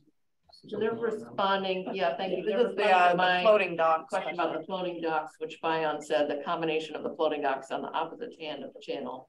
Right. And the expansion on the marine side, Yes. those things together would make the channel safer so that none of the docks are swinging. One thing that we had talked about internally out at the site that day was, um, you know, we have the 350 foot long ones. Yeah. If we could have the float, the bottom held floating docks that are opposite those. because Yes. We don't know if they're ready to do the whole thing right now. At least at a minimum, if we got those put in, that's definitely gonna help. And that's where, That would define the opposite hand of the channel, is that right? yes. So there's, how many? ten, Total and, ten floating docks. So there'd probably be like five maybe, um, so the first five, if you were to look at the plan, yeah. would both help with uh, the Crockers Boatyard project and those longer fingers that we have proposed in terms of defining the channel to that area, keeping both from swinging into it. This is the moorings, the current moorings, yes. Let me just show you. Okay, thank you. So. This, this is the fifty foot fingers here. Mhm. Yep. So we're saying we did like, at a minimum, First five. yeah, at a minimum, if we do that, that will help define where Crockers and. what Yes, gonna be. absolutely. And Remind those us which 50 is yeah. Crocker Well, those and 50 is Manchester. This is Crocker, That's Crocker, and right? that's the terminal pier. And these are the three 50 foot fingers. Okay, And that's where a lot of the concern was with the fifty foot line. yeah. So if we get those five in, that will set. Uh-huh. You know, and then they won't feel like they have to do the whole thing if they're not ready Right. to do it. Right. Can we ask Bion if that makes So sense? So fine, Bion? yeah, they wanted to, um, tether the first five moorings heading west. Yes. Find any issues or I do not. I, I think that's fine. That's a fine start. On that. Okay, any other comments? So, Um, yeah, the question is, are you not intending to do the other four, um, floating docks? Well, they are, but if you're gonna be conditioning the special permit on those. So they weren't necessarily ready to go ahead with all of them right now, but they're willing to. Oh, so you're saying limit the, the floating dock, uh, It's a the sequence. conversion from the mooring, from the free, free, whatever it's called, free swinging mooring Yeah. to floating docks to those four floating docks that are, Five. five Yeah. that are, Towards the mountain. uh, directly opposite Crockers. uh, Crockers in the, fi- and the fifty foot long. Yeah, Fingers. and then the others are, I mean, I hope to, to help through them. I guess, Yeah. I mean, I think it's the same issue for the others. They swing into the channel and you've got a real pinch point there as you approach the railroad. I mean, Yeah, I mean, part of the, the second five moorings and, um, you know, I'm in on this was, he had suggested that those second five might have a little delay anyway, as he as we kind of sort out how that's all gonna work with the rest of the harbor. Um, what if we said the condition would be that the, all the uh, Manchester Marines moorings would be converted to, um, floating docks by the summer of twenty twenty-four or something that was time limited? Or acceptable to Bion. There, there might be, they may not be able to put in this last one. Or maybe the last two. Well, I'm less, less worried, Yeah, you're less worried about those than, than the ones right across from the facility, right? and across from the ga- the gas dock, I mean, that, The gas docks. yeah, I know. It just, Are Those you, are you boats- okay with putting in three of those, second set of five? I mean, those boats I mean, swing into on the channel, it's like all a, of Eventually, it's just a matter of time. you know, a low tide on a wind, those boats on those moorings was swinging into the channel. And that the whole point, argument here has been that the channel is gonna be defined And safer. Mm-hmm. and safer. So, Collaborate with Bion. yeah, obviously in collaboration with, with the harbor master, that the, how many is the total? There's ten total. The ten total moorings be converted to floating docks on a time frame and, uh, Acceptable. acceptable to the harbor master. Yep, that's good. Okay. In coordination, acceptable to the harbor master, yeah, that makes sense. Because I think the argument here has been that that's the, that's That's what's a making it safety. safer, yeah. Yes. Is that working for Bion? Yes. Uh, so, uh, it, it does work for me. Uh, you know, ultimately, um, we're looking to get them all converted. I think we're all on the same page there. Okay, And, so uh, ten moorings that get converted to floating docks under your purview. So I think it's ten, ten, Ten? That's what I said. Ten floating docks will be installed. Ten floating docks will be installed. yeah, ten floating docks. Well, you're converting ten, are you converting ten moorings to, To 20 boats? Total, yeah, ten more. It's twenty boats, ten floating docks. Is that correct? Don't say the boats. just ten Just floating 10 docks, floating Ten floating Floating docks. docks, no boats. no boats, never mind. Okay. So we have that condition, and then I believe we're passing on the other conditions we voted previous for Crockers. Well, just the park, not the lobster boat. Not, yeah, not just the parking. ice breaking, The but icebreaking. the uh, harbor, uh, plan. Sarah has another question. I have another question. Um, at the Harbor Advisory Committee meeting, um, you said that in your case that the, um, dock expansion, the additional dock would be largely for operational docks, not for, um, not for, you know, uh, permanent flip, Yeah. slips or, I'd say about half, half of our project is for, to increase our operational capabilities, not to rent more space to, to, um. Okay. to. So your financial analysis, did that reflect a, all the docks are occu- occupied by, um, harbor, uh, whatever, you know, um, slip, uh, rental, slip rentals, or did it reflect that only half of them were? It reflected that half of them would be Okay. operating. Great. Any other comments? Just want to make sure the applicant is under, aware that the condition in the Manchester Marine permits, maybe I should, we should read them to them. Uh, Manchester Marine Corporation will continue to operate a fueling dock and pump out station in accordance with acceptable state and federal laws. There will be no expansion of the channel of the proposed floating dock system. Continue the necessary funding, the design and fabrication of safety signs for paddleboards. Um, and then I think we're gonna add the same condition as prior in terms of no expansion. Um, unless there's a harbor master plan or three years, whichever is more, is sooner. And parking on site. Comment on the, um, no expansion into the channel. Can, can that just be re- reworded a little bit to say that, um, no vessels will intrude on the proposed seventy foot wide channel shown on the plans? I think that's your intent, right?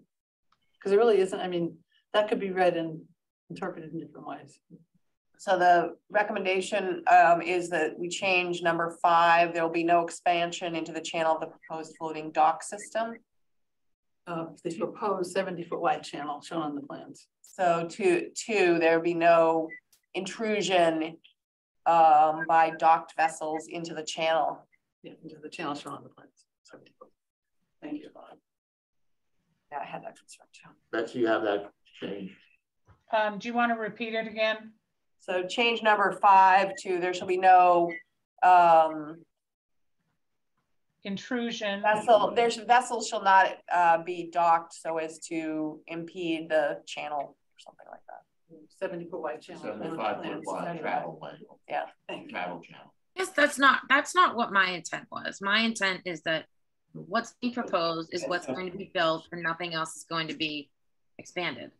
Right, I think we're gonna add the same, Christina, this is a separate um. Okay, okay, thank you. okay, thank you. We are gonna add, I think, um, we proposed adding the same condition as we did to Crockers regarding the harbor master plan and a three-year uh expiration of that condition. And that, that condition that you just mentioned, that we were just talking about before, that's on Crockers too, so maybe the same language could be revised. Yeah. Okay, Betsy, same language on both applications on the condition that Sarah just. So no vessel shall impede into the seventy foot wide channel. Foot wide Travel. Well, Pardon? that- we wrote that On the Crockers. I think that's not the Crockers. We can add that. Not on Crockers. Are we suggesting to add it into both? If it's not on Crockers, then, uh, I think we just voted that already. We're just talking about Manchester right now. okay. All right, so, um. Any other conditions, any other comments? Ready to vote this application? So what I would advise is to close the public hearing first and then make a motion to move forward on the decision. I move we close the public hearing. Second, Motion to, uh, close, been made and seconded, any comment, uh, discussion? Roll call, uh, chair votes yes. yeah, Sarah, Yes, Yes. Christina? Yes. Close the public hearing. Uh, I'd like to take a motion to vote the decision as amended tonight. so moved. second, Any further discussion? Roll call, uh, chair votes yes. Christina, Yes. uh, Laura, Yes. Chris, yes. Sarah? Yes. Done. Thank you. Have a nice holiday.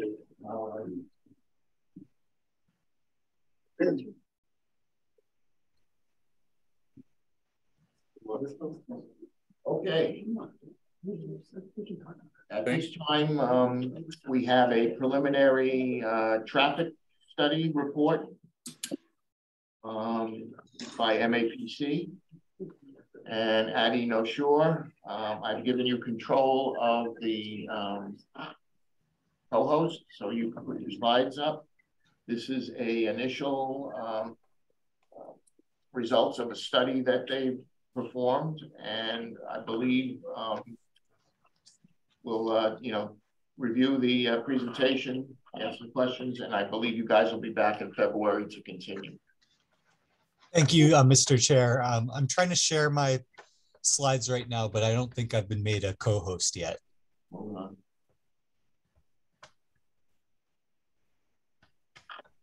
Okay, let me try that again. Yeah. Oh, you did that. Can folks see that okay? Yes, Yeah. Sorry, I forgot.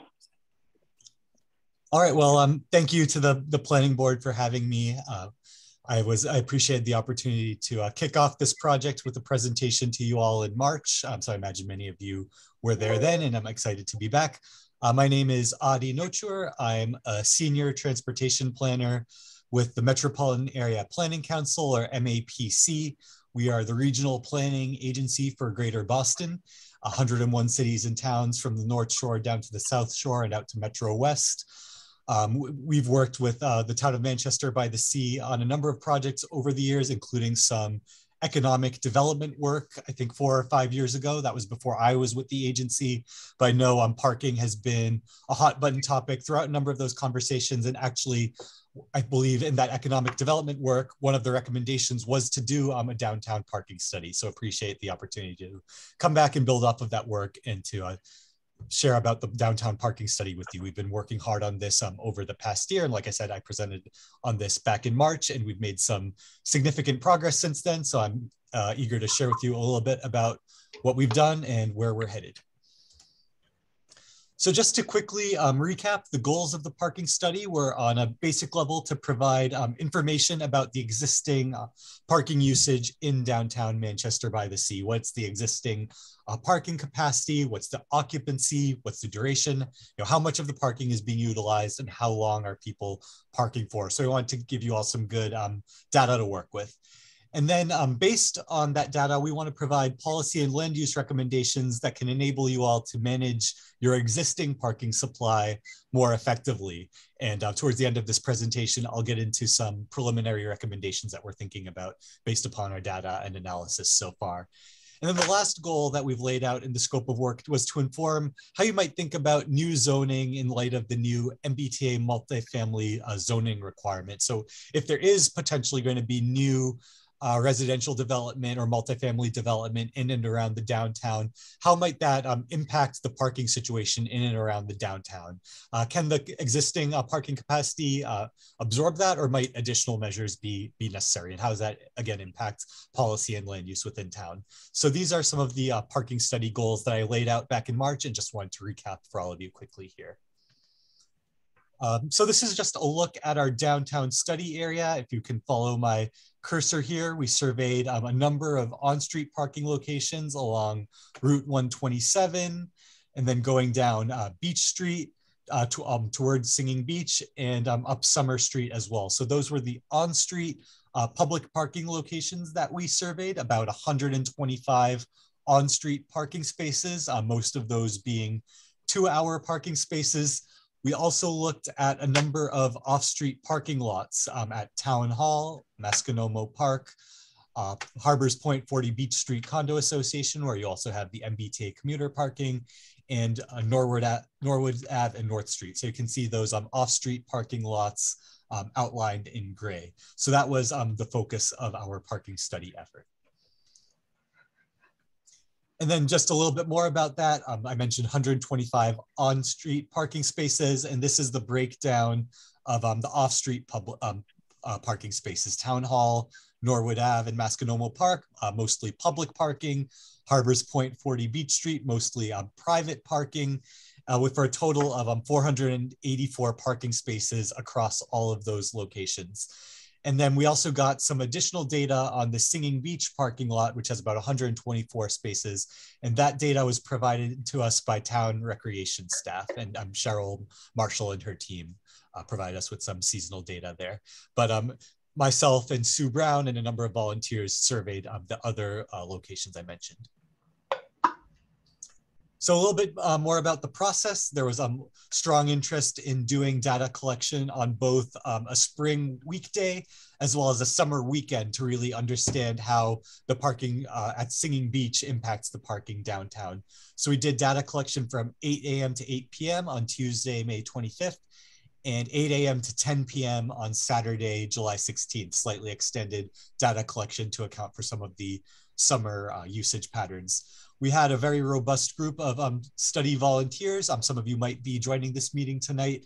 who walked predetermined routes every hour on the hour to collect the occupancy data. So literally to determine how many parking spaces were being occupied each hour on the hour using um, pretty intensive data sheets, which I'll show you an example of on the next slide.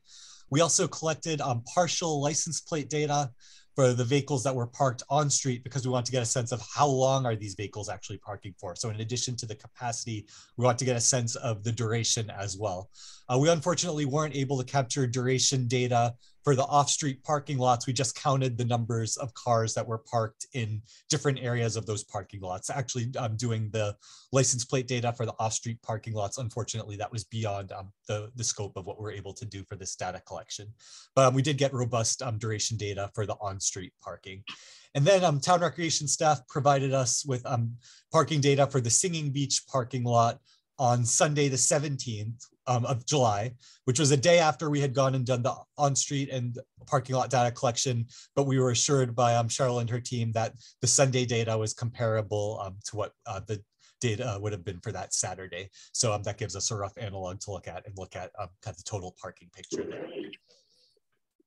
So this is just a quick sample of what a data collection sheet looked like for the on-street spaces. We have had every individual spot uh, delineated and we wrote down um, the partial license plate info um, to get a sense of whether those spots were occupied. We left it blank or with a dashed line if it wasn't occupied. If it was occupied by the same car, um, hour after hour, we put arrows to indicate that. So this is just a brief snapshot into how we uh, gathered the data for the on-street parking occupancy and duration.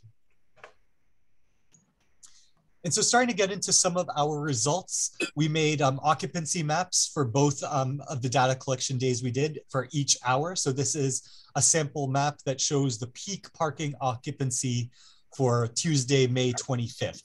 And you can see that overall parking occupancy for the entire study area we looked at was 50%, but you can see how the um, occupancy varies by location as well uh, you know, the higher occupancy in red and sort of mid-tier occupancy in the orange and yellow and lower occupancy in green. And we have uh, maps like this for every hour uh, for May for May 25th. But this was just an wanted to share this as an illustrative example from a peak the peak parking um, occupancy for the entire day. And similarly for July 16th, uh, we found a peak occupancy of 71%. Again, that was at 1 p.m. And you can see you know, higher utilization at this um, at this time and on this date, um, largely folks um, parking for to go to Singing Beach uh, by and large. So you can see that um, a beach weekend does um, significantly increase the parking occupancy pattern in downtown Manchester by the sea. And then this chart um, is going back to May 25th, showing the hourly occupancy variations across the entire day, starting at 8 a.m. and continuing till 8 p.m. when we gathered data. So you can see um, about 30% occupancy to start at 8 p.m., gradually rising to that peak of just of 50% at 1 p.m. And then you get a gradual decrease um, again throughout the day. So these are hour over hour variations. Similarly for July 16th, again at around 8 a.m. starting at 30%, rising throughout the morning and early afternoon to that peak of 71% uh, around 1 p.m. And then you see the decline throughout the day back to about 50% by 5 p.m. and back down to 30% uh, by 9 p.m. Or, or, 10 p.m. So you see um, higher occupancy um, during uh, the beach weekend, tapping out at about, maxing out at about uh, 70%, 71% a couple more maps for you here. So this is um, average hourly occupancy for May 25th. Um, so this is taking all 12 hours and just taking the average. So you see um, we got an average occupancy of 39% for the entire day on May 25th. And again, you can see there are some uh, slight fluctuations in terms of which areas have higher or lower occupancy. Similarly, for July 16th, uh, we have a peak, uh, um, an average hourly occupancy of 53%. Again, no surprise that that's a little bit higher than 39%, given the higher usage for Singing Beach and, and other weekend activities potentially. And again, some uh, local localized variations as well. But um, so slightly higher occupancy, but still um, a lot of uh, capacity for additional parking. Getting into some of the uh, duration data here, uh, you can see the average duration data for the on-street parking for May 25th here. Um, most of the on-street parking is two-hour parking, and by and large, people are adhering to those um, posted parking limits, except for this little area up on, I believe that's I believe that's Union Street, Route 127, where we have people parking for a bit longer than the, the posted limit. And I think over here on this segment of Route 127 as well, right outside that um, multifamily building there. Um, and we did we did observe people who were parking for um, longer than uh, two hours. So you know, some there were a handful of folks who were parking for four or five hours or even longer. So we do have some of those individual data points. Uh, presumably, um, some of those folks might be um, employees at some of the small businesses who might be parking longer term. We also did observe a handful of instances where people might have parked in one spot for a couple of hours and then they just moved up the block for another couple hours. So um, probably to avoid the two hour time limit. So again, these might be uh, folks who work in some of the small businesses are just moving their car um, to avoid um, getting a parking ticket perhaps. Again, here's the average duration for July 16th even with the increased um, utilization I mentioned earlier for Singing Beach, you still see that folks are um, adhering to those posted time limits for the most part. Again, with um, that area of Union Street kind of being an outlier there, but I think speaks to um, the power of the seasonal enforcement that's happening that people know to expect tickets or violations if they do park beyond those posted parking limits. So by and large, again, you're seeing here that even on a busy summer beach day uh, on a weekend, that folks are adhering to those posted um, those posted time restrictions. So this um, helps us pivot to some of our key findings. I really want to point to this top takeaway over here that um, parking occupancy is consistently below an 85% benchmark, which is commonly used for occupancy when it comes to downtown parking studies and analysis. 85% um, really is sort of the sweet spot where um, most spaces are occupied, but there's always a few spaces that are available for um, folks to find on-street parking if they need it. So the fact that occupancy for the study area is consistently below 85% actually indicates that you do have an adequate parking supply in downtown Manchester by the Sea. So I would say that is probably the biggest takeaway from uh, this preliminary analysis here. With that said, um, there are some location specific variations in the parking occupancy, and that creates potential for more targeted or localized parking management strategies as well. And I'll share a little bit more about that momentarily. Again, as I mentioned, while most people are adhering to the posted time limits, you do have some people parking on street for extended durations, which might um, speak to how some of the employee parking programs might be used or not being used. Again, I'll say a little bit more about that shortly. And another um, uh, key takeaway is that the off-street parking lots contain a broad and sometimes complicated and confusing variety of parking regulations. So that's another piece to keep in mind as we think about um, improving parking management in downtown Manchester by the Sea. So some of the preliminary recommendations that this helps point us towards, um, some of the suggestions would be to add pavement markings uh, for to more clearly delineate some of the parking spaces along Route 127. Um, as it stands on Beach Street and other parts of the downtown, there are very well marked um, parking spaces. So if the same could be done on Route 127, it could make a pretty big difference in terms of folks knowing precisely where to park and really clarifying the number of parking spaces that, that are available. Similarly, on the eastern end of Summer Street, where um, the road kind of goes uphill and takes a curve to the left. That's another area that could benefit from increased delineation of parking spaces and perhaps some improved signage as well. This was an area where you have um, a posted two hour parking restriction, but most people um, by and large don't really park there. Um, in our data and our analysis, we found that this was an area where parking was on-street parking was consistently underutilized, perhaps because it might be a little bit farther away from some of the small businesses. There might not be as much activity in the immediate vicinity, but it's still very much legitimate public parking that people could utilize on street. So increasing the visibility of some of those parking spaces on the farther reach of Summer Street in particular is another uh, preliminary recommendation at this point um, in our analysis. Um, we'd also want to think of opportunities to enhance, assess um, and enhance uh, signage on street for the parking throughout the downtown. Um, as I mentioned, Union Street, where people are parking for longer than two hours on average, maybe there could be opportunities to increase enforcement, whether it's on a seasonal basis or potentially longer term as well. We also know that the connections between some of the on-street or the off-street parking lots um, and the broader town downtown might be lacking at, at times. So to increase utilization of these lots, can you enhance uh, wayfinding? Can you enhance pedestrian connections? And I know there's strong interest in this in particular uh, when we talk about how do folks move between the town hall, hall, hall parking lot and Beach Street as well. So thinking about how we improve those connections, make them more visible, make them more attractive so people can get back and forth between different parking areas and the broader downtown is going to be really important. A few more recommendations, as um, I mentioned, uh, the, the off-street parking lots have a pretty broad and, um, and oftentimes complicated uh, set of parking regulations. So think of thinking about opportunities to simplify or adjust those regulations to um, meet uh, what the actual needs are and to enhance or alter the signage if necessary. I think that's something that we've we heard throughout the study that the signage is, is lacking in some of these off-street parking lots. So how can you make it very clear um, who's supposed to park where and, and when? So as part of that, you would want to certainly think of opportunities to assess the utilization of the existing business parking program with the placards um, could there be opportunities to allocate or lease additional spaces in the off-street parking lots for some of that longer term employee parking so that can free up some of the on-street spaces for folks who are visiting the downtown and might have other needs there. So, um, so that's one piece uh, that could be reassessed and looked at. And then as um, there might be opportunities for more residential development, could there be a specific parking program for downtown residents who might inhabit new multifamily developments in and around the downtown? And can um, spaces again be allocated or leased in some of those off-street parking lots?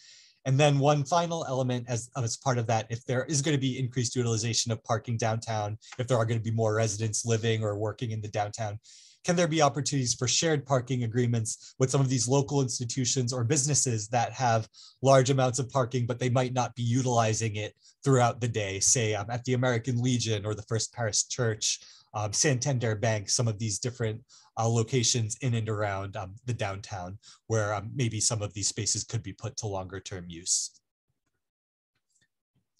So um, some of the next steps, um, we're going to develop a final parking study report um, in, the, in the early new year. So that will go much more in depth on all the data and recommendations I just shared.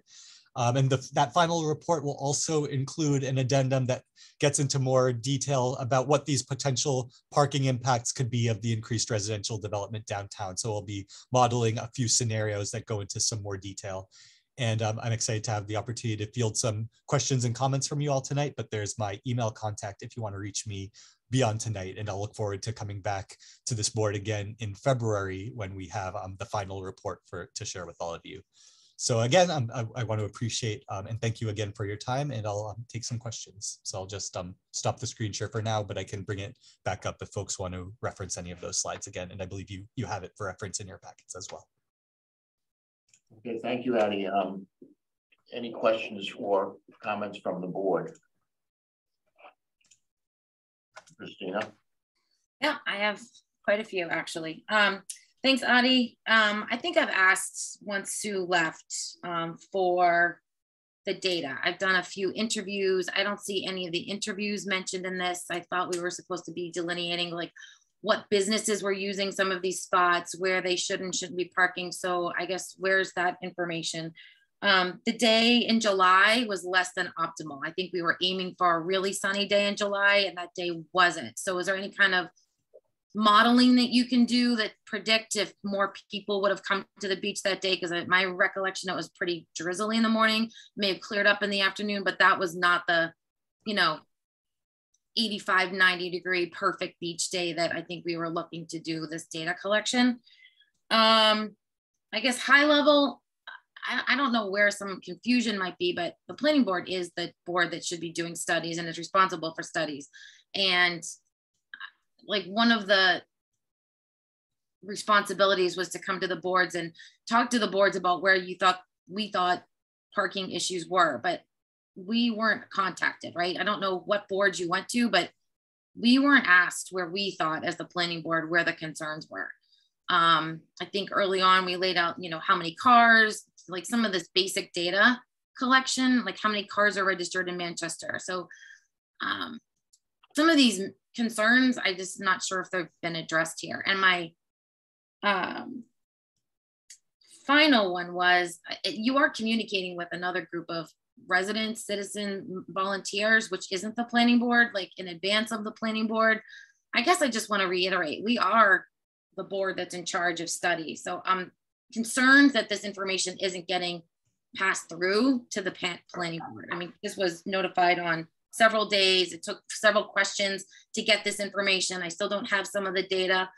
Um, and uh, like, I would like you to also address a, another study that or survey that the downtown improvement is doing and how that is correlating with this.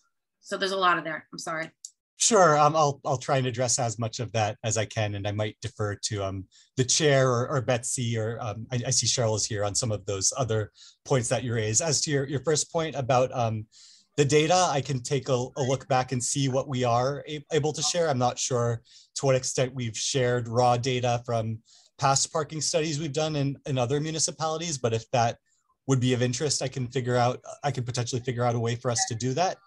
Um, I'm, I'm trying to remember all the different points you brought up. With respect to um, communicating with the, the planning board, you know, I was primarily working with Sue Brown on this earlier, as, as folks might know, and I know there's been a lot of uh, transition recently. So, you know, I, so that's been a little challenging to navigate. So I, am you know just trying to pick that up here as as best as I can now. Um, as far as the beach uh, parking day goes, um, you know, we did the study area data collection on a Saturday. Um, and I, am trying to remember what the weather was like that day. Maybe that was the day that was a little drizzly. The parking data that was provided to us um, by Cheryl was for the following Sunday, uh, the day after. And I think that might have been a hotter or more sunnier day, but Cheryl did um, communicate to me that that data was um, you know, reflective of what uh, you know a well-utilized no, summer no, no, beach day would be. The second day, we were thinking a spring day and comparing it to a summer sunny day. Like, but the day that we collected, the second was not a sunny day. Like that's my point. So, is there some kind of modeling that you can do, like X percentage better if the weather, because that was definitely not an optimal day, weekend day for a draw in Manchester. It was drizzly, right? That's my question how can your data that you collected that day be modeled to a sunny day? Because that wasn't, and that's what we were under the expectation of. Yeah, I don't, I don't know if that's something we can do. To be honest, uh, most municipal parking studies we do, we we typically do one day of data collection. We did two days of data collection in this instance because we heard um, from folks that we wanted uh, to also get an understanding of the beach traffic on a, on a summer weekend. And so, um, you know, we, we, we did that to the best that we could um, you know, some I know these things, the weather is is unpredictable, but it was a pretty involved effort. Um, so I don't know that we could, you know, project modeling wise for the weather uh, because that's you know something we've never done before in terms of you know doing parking data collection on a weekend because folks are are going to the beach. So this is a little bit of a special case for us, and I you know I think we tried to do the best we could um, given the circumstances. Any comments from the board, Laura? Uh, I have a couple of questions. Thanks, Adi, for the presentation. I was one of the planning board members asked to um, uh, be a volunteer. So I volunteered on that July 16th Saturday from I think one in the afternoon till 9 p.m. that night through that eight o'clock hour. Um, it did not rain. It was not, it was not um, the hottest, sunniest day of the afternoon. During the time I was there, it didn't rain. It was a little cooler than a sort of, um, you know, spectacular beach day. And then I don't remember what the weather was on Sunday when Cheryl provided the um, information for the traffic uh, at the beach. I wanted to ask Adi um, a couple of questions. One is, I remember that we were surveying um, handicapped ADA accessible spaces. And I wondered if you had any conclusion about um, those in terms of their um, uh, location and uh, use and um, um whether the, um, you know, kind of as a percentage of um, spaces is typical to what you might see. And then also you made a comment that a lot of the highly utilized spaces were, um, it was assumed that those were for people going to the beach. I've often wondered about that because the spaces on Beach Street, and they used to go farther towards the beach until the town um, pulled it back a few years ago, but they're all two hour spaces. And um, it's not a real long time by the time you walk down to the beach and from wherever you're parked, and then you got to get back in time to move your car before two hours. So I'm wondering if you had a kind of a location limit, half mile, or if you had some kind of radius by what you decided might be beach parking versus uh, just some other visitor to the town, given that we we didn't really know, you know, what people were parked there for. Is there is there a radius that you're considering there? Yeah, that, that that's a good question. To your first question about the um, the ADA spaces, I haven't um, drawn any conclusions or taking a close look at the data for those just yet, but certainly can do that as part of the final um, parking study report and definitely want to think about the location of handicap spaces. Are there sufficient handicap spaces? So if that's um, of interest, we can definitely uh, share, share a bit more about that in the report. Um, and to your point about the uh, the beach parking, that, that is an interesting point that, you know, if people are sort of sticking to this two hour parking limit, are they really walking to the beach and then coming back in a pretty constrained window? So, you know, it's impossible to say for for sure that folks are are using the you know parking on Beach Street and then walking to the beach and coming back within two hours. It seemed to be a, a reasonable assumption, but maybe there are some things we need to check about that. But I think we can say with um, confidence that there are more people you know parking in and around the downtown on a summer weekend as opposed to a spring week I weekday. wonder, yeah, I wonder just as a point of clarification, when the report comes out, if it's useful to draw, you know, half mile radius from Singing Beach to which parking spaces fall within there, because some of the spaces you were showing on, say, Summer Street or, you know, more central to town, but farther to the beach, it's hard for me to imagine that some of those spaces that are farther from the beach are really going to be practical for people trying to walk down the beach, get back in two hours. Um, Mhm. So it just might be interesting to do some kind of radius to see what kinds of destinations we think might people might be headed for. Yeah, uh, we, we can figure out a way to frame that in, in the report and, you know, sort of, you know, surveying people and where they were going. We might just need to um, make some educated guesses here or, or, you know, point that you know, maybe some further analysis would be needed. Uh, but that reminds me of, you know, one of uh, Christina's earlier question about the, the downtown survey that was done. You know, I'm aware of that effort, that presentation has, has been shared with me from the, the interviews and surveys that were done. And so, you know, I didn't speak to that today because I want to focus on the MAPC um, data collection effort, which which some of you were involved with. But um, when it comes to the final report, you know, I definitely plan to reference that body of work as well. And so, you know, how exactly I'll do that um, is still to be determined, but I, I, will certainly reference the Downtown Improvement Committee and the work that's been done. Sarah, Chris? So, yeah, I have a couple of uh, things, Adi. Um, it, it seems like there's a funny disconnect between people's perception of parking versus the data, the actual data. And I guess that's understandable because you remember when you can't find a parking space and that sticks in your mind, whereas the days that you can, there's just another day and let it go by. So the, the I think those summer weekend days are what people have in mind when they talk about uh, shortages of parking. But I still think it's interesting that um, in general, 85% is uh, acceptable for a downtown or maybe optimal. And the, the biggest uh, percentage of parking actually occupied is 70%. Uh, even if it were a drizzly day in the summer, that still is kind of surprising to me. But, um, you know, it's something we should keep in mind. The other thing is that I know there is a there is a problem with people who live in apartments in the downtown without parking off-site.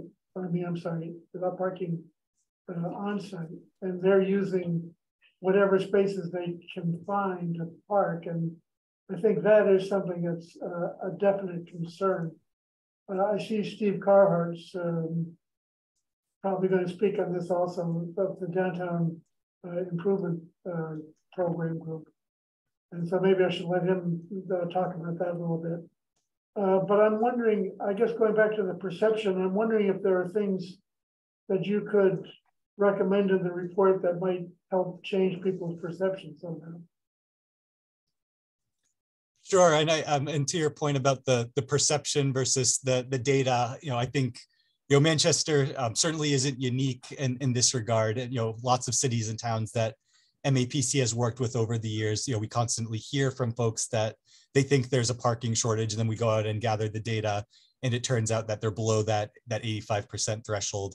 Um, and I think it's oftentimes the difference between you know parking right outside the establishment you might want to patronize or work that you might work at versus maybe a block or two away. And I would note that even in you know the downtown um, improvement committee survey that was done, I believe the businesses defined parking um, nearby as parking literally right outside their business. So I think that's part of the perception gap that we have to navigate that people are oftentimes used to finding parking that's nearby and, and convenient, you know, right outside their, their final destination, whereas, you know, parking spaces might be available if they circle the block or, you know, maybe park a, a block away. So that's um, certainly speaks to the perception issue.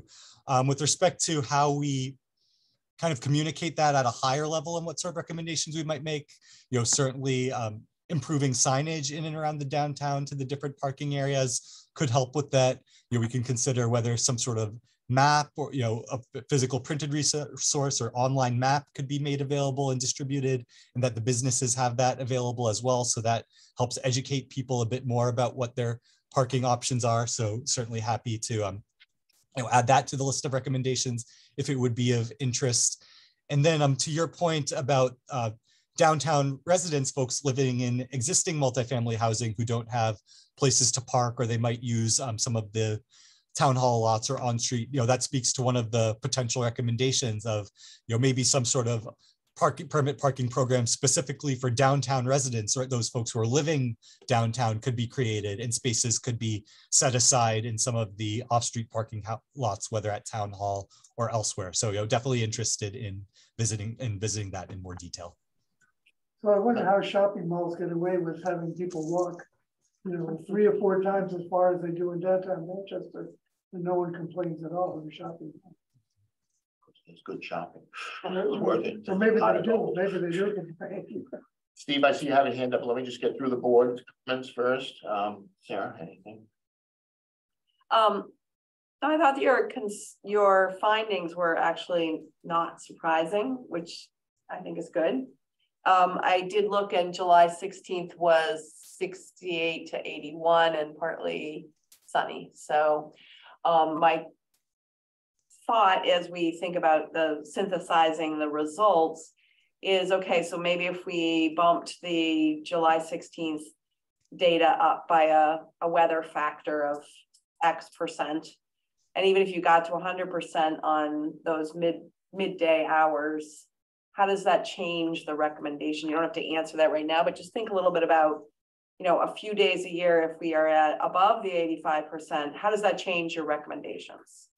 And then what are the recommendations for the various audiences? Because I do think, and maybe it's a, maybe you'll have to do that in the abstract, not knowing who was parking in those spaces, but still we know that there's residents who don't have a dedicated space. There's merchant, uh, there's employees who are there for many hours. And then I think um, one of the perceived problems about no parking is that the type of shopping establishments we have are, oh, I'll go in there if there's a space right in front of it. Mm-hmm. They tend to be the kind of place where you drop in maybe frequently to see what it they have or get a quick birthday card or that kind of thing rather than a place where you spend a lot of time, the restaurants aside. Um, and maybe restaurants is a different audience. And maybe you don't know what who was parking there, but I think that the kinds of um, need, uh, and I put that in quote, uh, or perceived need um, might drive different recommendations. And then lastly, um, I think that your recommendations make sense um, at least in terms of striping and that kind of thing. And those probably belong with the DPW and the police or the select board or something like that. But I thought interesting. Thank you. And I think um, to your point about the the different audiences and you know what are the different uses of, of parking, you know certainly uh, the the res residents, um, certainly the businesses and and the employees, and that's where I had a couple of those recommendations to think about what some of those um, permit parking programs might look like. You know, we talked about folks who might be visiting the beach, but there's sort of that reasonable question about what are they actually using the on-street parking or not, versus are these folks more generalized visitors to the downtown? So I think you know we can certainly talk about um, in the final report, you know, who those users are and make some educated assumptions about you know how they're using some of those parking spaces and what sort of recommendations would um, suit their needs and interests. Thank you. Um, just my comment. Um, we may be changing the density in the downtown in the future next uh, on this MBTA community uh, edict. I'm wondering if there's any way to model um, what that might do potentially to uh, parking, depending on what gets, um, what kind of density changes we, we make. Yes, absolutely. So that's that was part of the the scope of work for this project, and um, and I mentioned in the presentation that part of what we want to do with this um, study, which we actually which we haven't done in with past municipal parking studies, but we're doing it here because we heard from you all that this was important to you, was thinking about what would the impacts on the parking supply be if there were to be increased multifamily development downtown. So we will be modeling some scenarios that speak to that. Um, and so that will be included in the, the final report that we'll share um, early in the new year. And could you also, is it possible to get data from Cheryl on, you know, how many times uh, the, the uh, beach parking lot has filled up and how, how long it was filled up for? Um, I don't know, over the past year or two, is that data available, do you know, or? Um, we do keep track of that. We do keep track of when the parking lot fills. Um, and in this study, both the Saturday and Sunday, the weather was about the same. It was a great day. It was above average um, as for people visiting the beach. Um, so I thought actually that was a great day to use as opposed to the five or six days that the parking lot fills. And then people perceive that as every day when it's actually only about a half a dozen times a summer when the lot is full.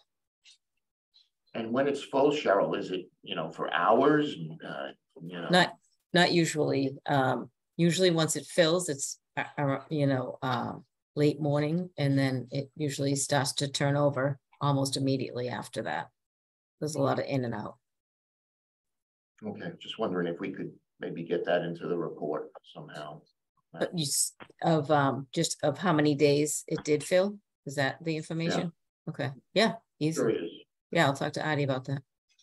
And and so the, to your point, Mr. Chair, about um, wanting, you know, thinking about increasing density um, in in and around the downtown, if there are, you know, specifics proposals that you all might be thinking about that you're willing to share or, or ideas, I would encourage you to to share those with me so I can pass those along to our data services team so they can think about how that impacts I the don't model think it they would might run. be um, immediate. I think it's, we're a little, we're a little further down the line with that, but certainly will. We have something. Okay, uh, let's talk to Steve Carhart on the downtown improvement. Uh, Thank you, uh, Mr. Chairman. Um, uh, For those of you who may not be aware of our group, we are a town committee appointed by the select board. Uh, We can, uh, we consist of seven volunteers. And uh, we see our principal role as being trying to provide as much connective tissue as possible between the merchants, restaurants, institutions and residents of our downtown and our hardworking elected and employed municipal uh, uh, leadership. Um, in connection with this effort, uh, we were engaged very closely with Adi and with uh, Sue Brown. And our particular contribution was to conduct a survey of residents, institutions, and, and merchants in downtown as to their views on parking. Uh, we also did some car counting and other uh, odd uh, volunteer works to try to help this overall project. Um, I would like to call, I am I'm joined by my colleagues, uh, Marlene Dolan and Linda Crosby, who worked very hard on uh, the survey of citizen uh, opinion on parking. And I'd like to turn it over to Marlene, uh, who designed the survey uh, for her uh, report, if that's okay, Mr. Chairman. Um, sure, Marlene, um, brief. Thank you. Um, I'll be brief. We sent a survey to 118 uh, downtown residents, businesses, uh, including the library, the um, the church, the town hall, and restaurants. And we received a 31% response rate. And what I wanted to say is that we have um, facts and data from both all of those residents, in addition to additional um, work that Sue Brown and I believe Christina has done with interviews directly. Our goal was to find out what directly our our downtown businesses needed and need and want for parking so that they can have a vibrant business. In that regard, I will say that although we have um, an overall parking supply that looks adequate, most of our uh, most of our businesses are asking for parking that is closely located to their front door, and we have uh, a problem in our back town hall lot with people that live downtown and need to find parking for their houses where they have no parking.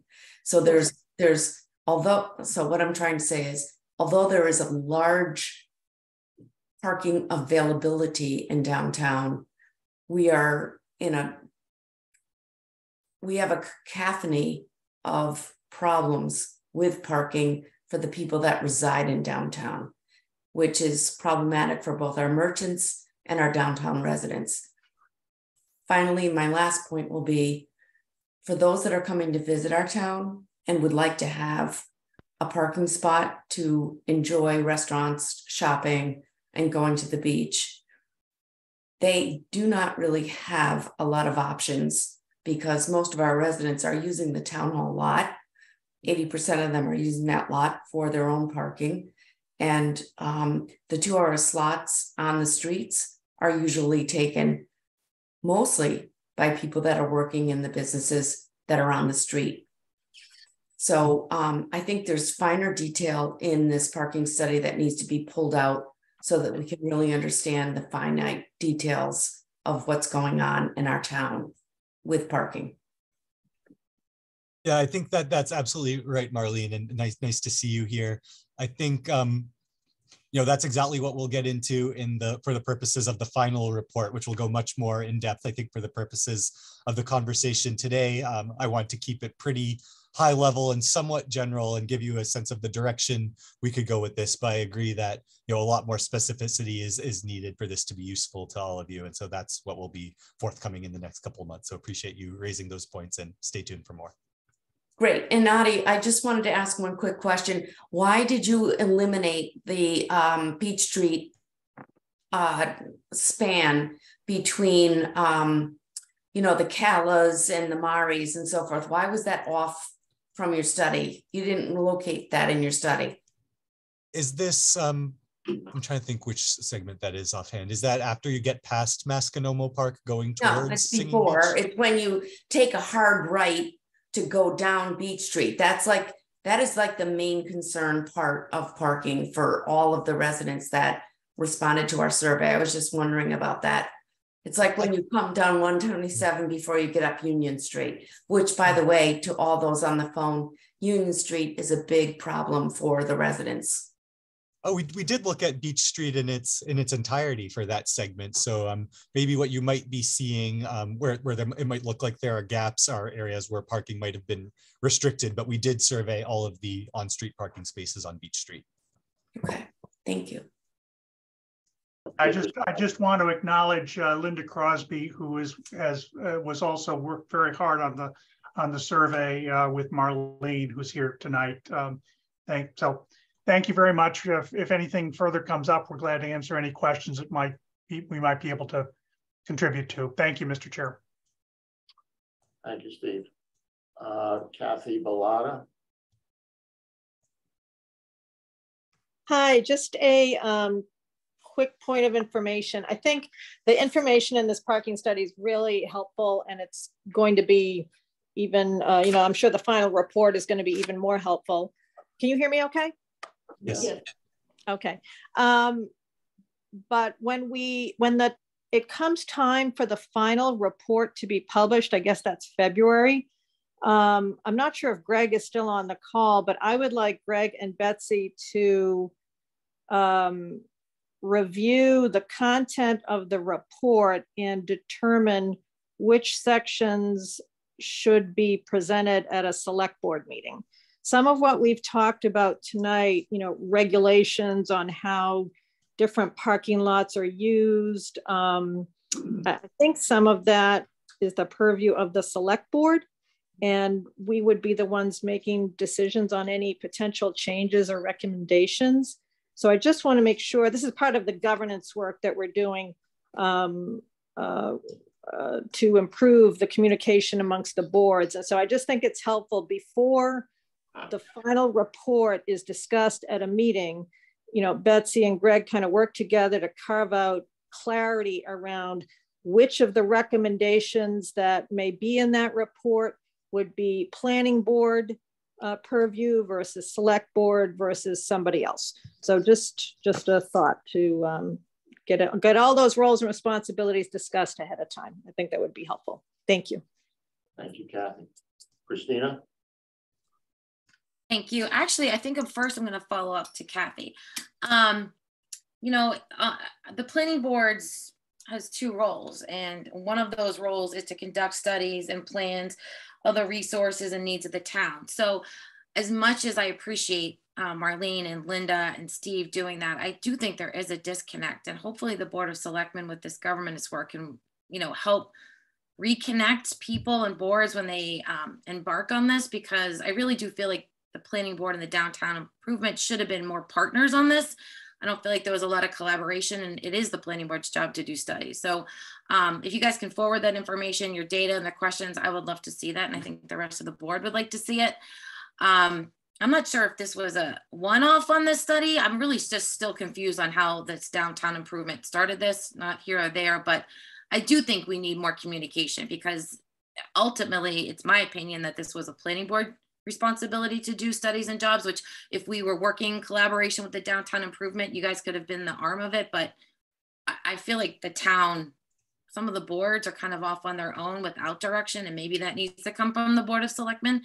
Um, but my final question is, Adi, you know, talking about where this parking can be with the MBTA transit. So the MBTA transit is a half a mile, right? So there's this language that we can say in Manchester, we have the village, but now we're just talking about downtown parking.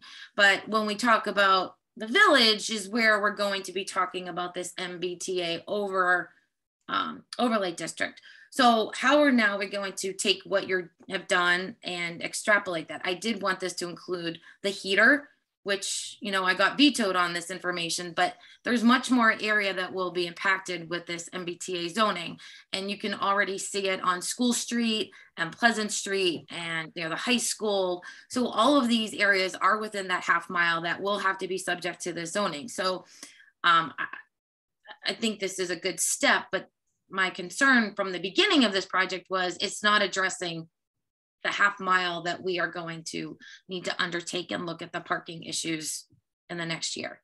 Thank you.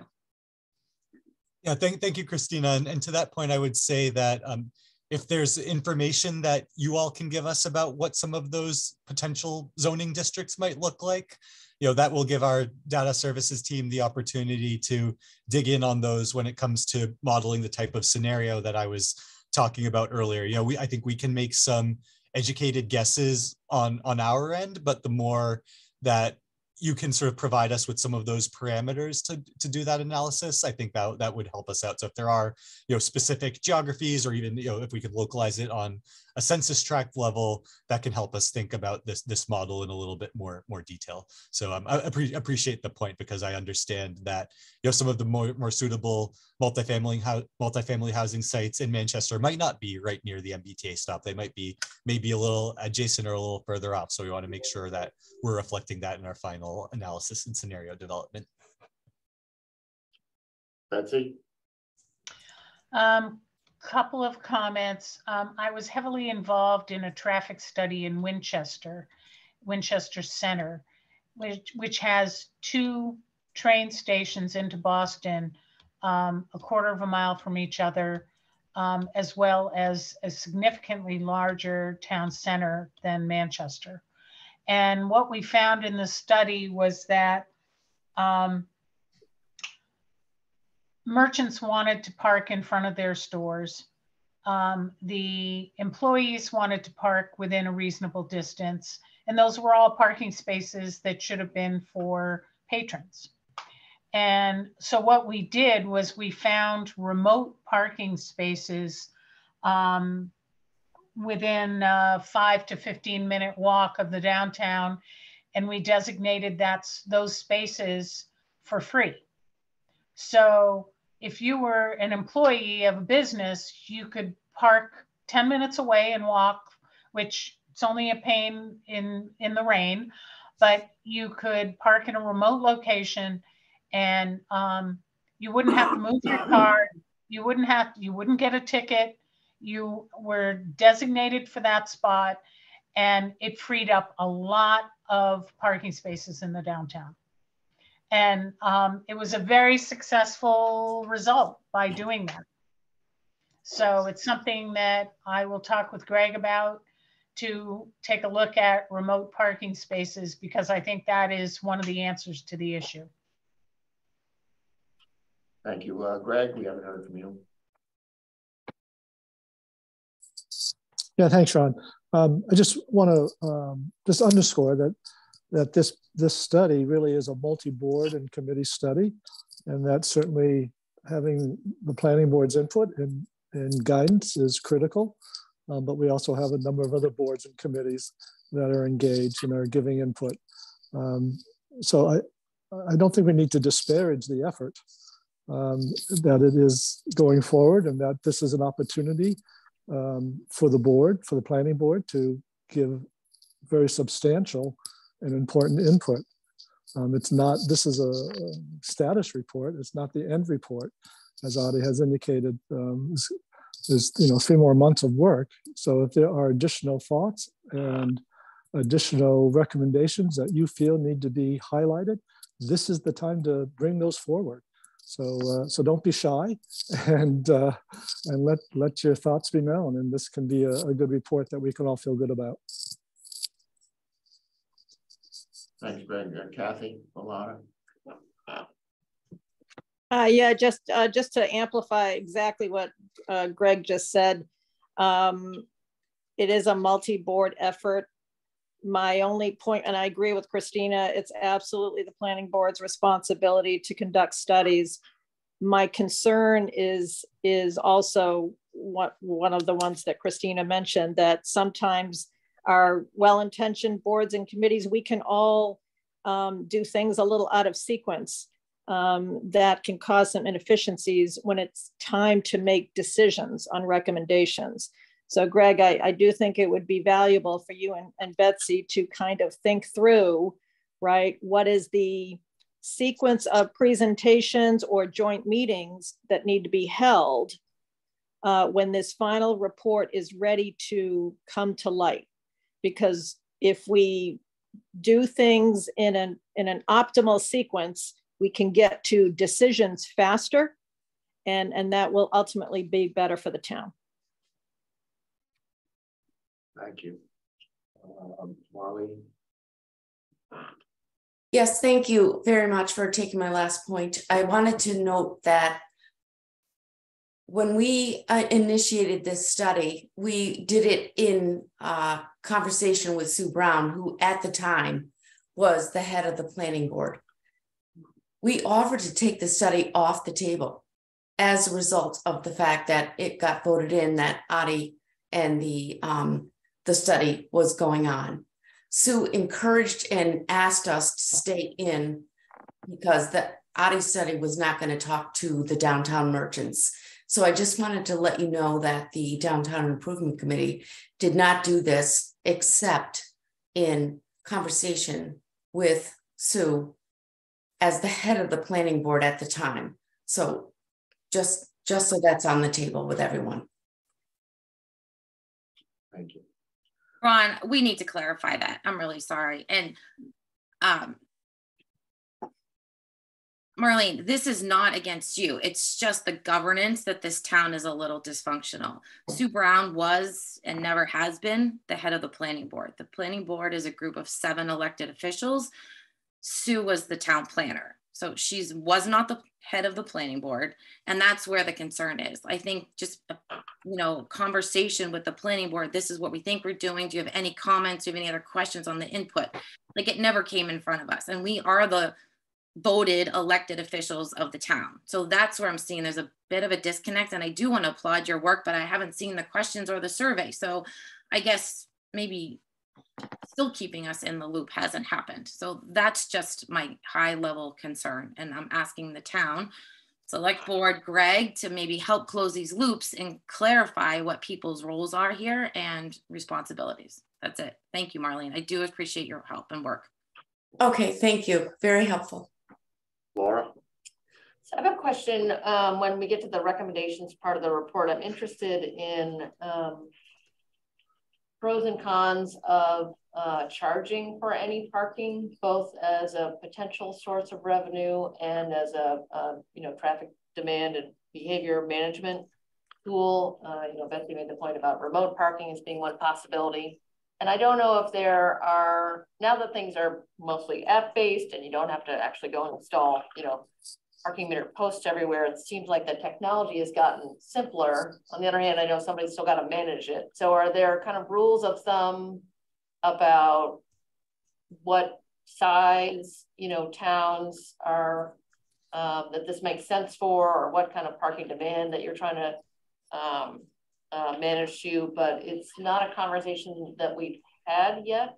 And if we're talking about recommendations for um, how to manage both the perceived demand and the actual demand for spaces, um, it would be really, I'd be very interested to find out more about um, the potential for use of um, charging for parking through some app or some other measure like that. Sure. Um, I think there's a few different pieces to tease out there um, with respect to whether towns comparable to Manchester by the Sea have or haven't implemented um, parking meters uh, or, or charging for on-street parking. I don't know of examples offhand, but that's something that we, we could look into a bit more if you are interested in kind of what other municipalities that might be comparable have or haven't done. I think at a high level, I would say, um, you know, the pros, um, certainly with when you put in parking meters, that would encourage more parking turnover if you if you have a problem where people are parking for extended durations and you want to free up spots on a more regular basis. I think um, you know parking meters could certainly help with that but i don't necessarily know that that's the challenge that you all are confronting in downtown manchester right now. And then of course like as you mentioned um, you know it could be a, a revenue stream for the town and you can think about ways that that revenue could be reinvested in the downtown if you want to think of a measure like a parking benefit district or, or something like that. So those I would say were some of the, the pros. Um, you know, the cons, of course, are you know the cost and and management of that system you know, would mean you know, you need more parking enforcement in that sense as i understand it right now the enforcement is seasonal it would mean so that would mean you need more dedicated um, parking enforcement capacity and then of course there's the political um, side of the equation in, in, terms of how residents and businesses um, might not often might not always have the best uh, response to um, parking meters. So then that's more of a political uh, question. But I would say at a high level, those would be some of the considerations on both the pro and the con side, as well as what um, parking meters can help you accomplish in terms of goals of increasing uh, turnover and things like that. So I hope that's helpful at a high level. Yeah, that's there's helpful. more I we can dig in on those, details. there's a table or something that can go into the report that sort of talks about the pros and cons. Because if we did consider this, I don't know that we're, I mean, this is this is way ahead, but you know, we might consider it for some areas, but not others. And um, if there are smaller towns that have um, tried this, given the way things are moving towards an app-based system, that would just be interesting information to have for context. Thank you. We can look into that. All right, um, anything else? Otherwise, I think we'll wrap this up and, um, maybe I'll put it on our agenda for the ninth to discuss any more things that we want to have Adi put in the report. I think that's useful. I can put that on the agenda. Um, otherwise, uh, thank you, Adi, uh, for, uh, coming tonight. Um, and we'll look forward to your report and hopefully you can incorporate some of the comments you heard tonight. Thank you, Mr. Chair. I'll, I'll definitely take all, all this back and I'll, I'll look forward to um, coming back before you all in February when we are closer to having that final report done. And I'll be working with Betsy in the interim to get us there. So feel free to reach out to her or to me with any um, questions or comments that come up from here on out. So thanks again for your time and uh, have a good evening, everyone. All right, thanks. Thank you. Okay, um, I don't think we have time for curb cut regulations, plus Mary isn't here, so I think I'm just going to check over that, and then I think we've covered everything else on the agenda, so I would take a motion to adjourn unless somebody has anything they'd like to bring up. Happy New Year. Happy, yeah, happy holidays, happy new year, we'll see you in January. Take a nice rest from this. Motion to adjourn? Motion to adjourn, is it seconded? Second. Roll call, Laura? Yes. Yes. Yes, Christina? Yes. See you next year. Okay, thank you.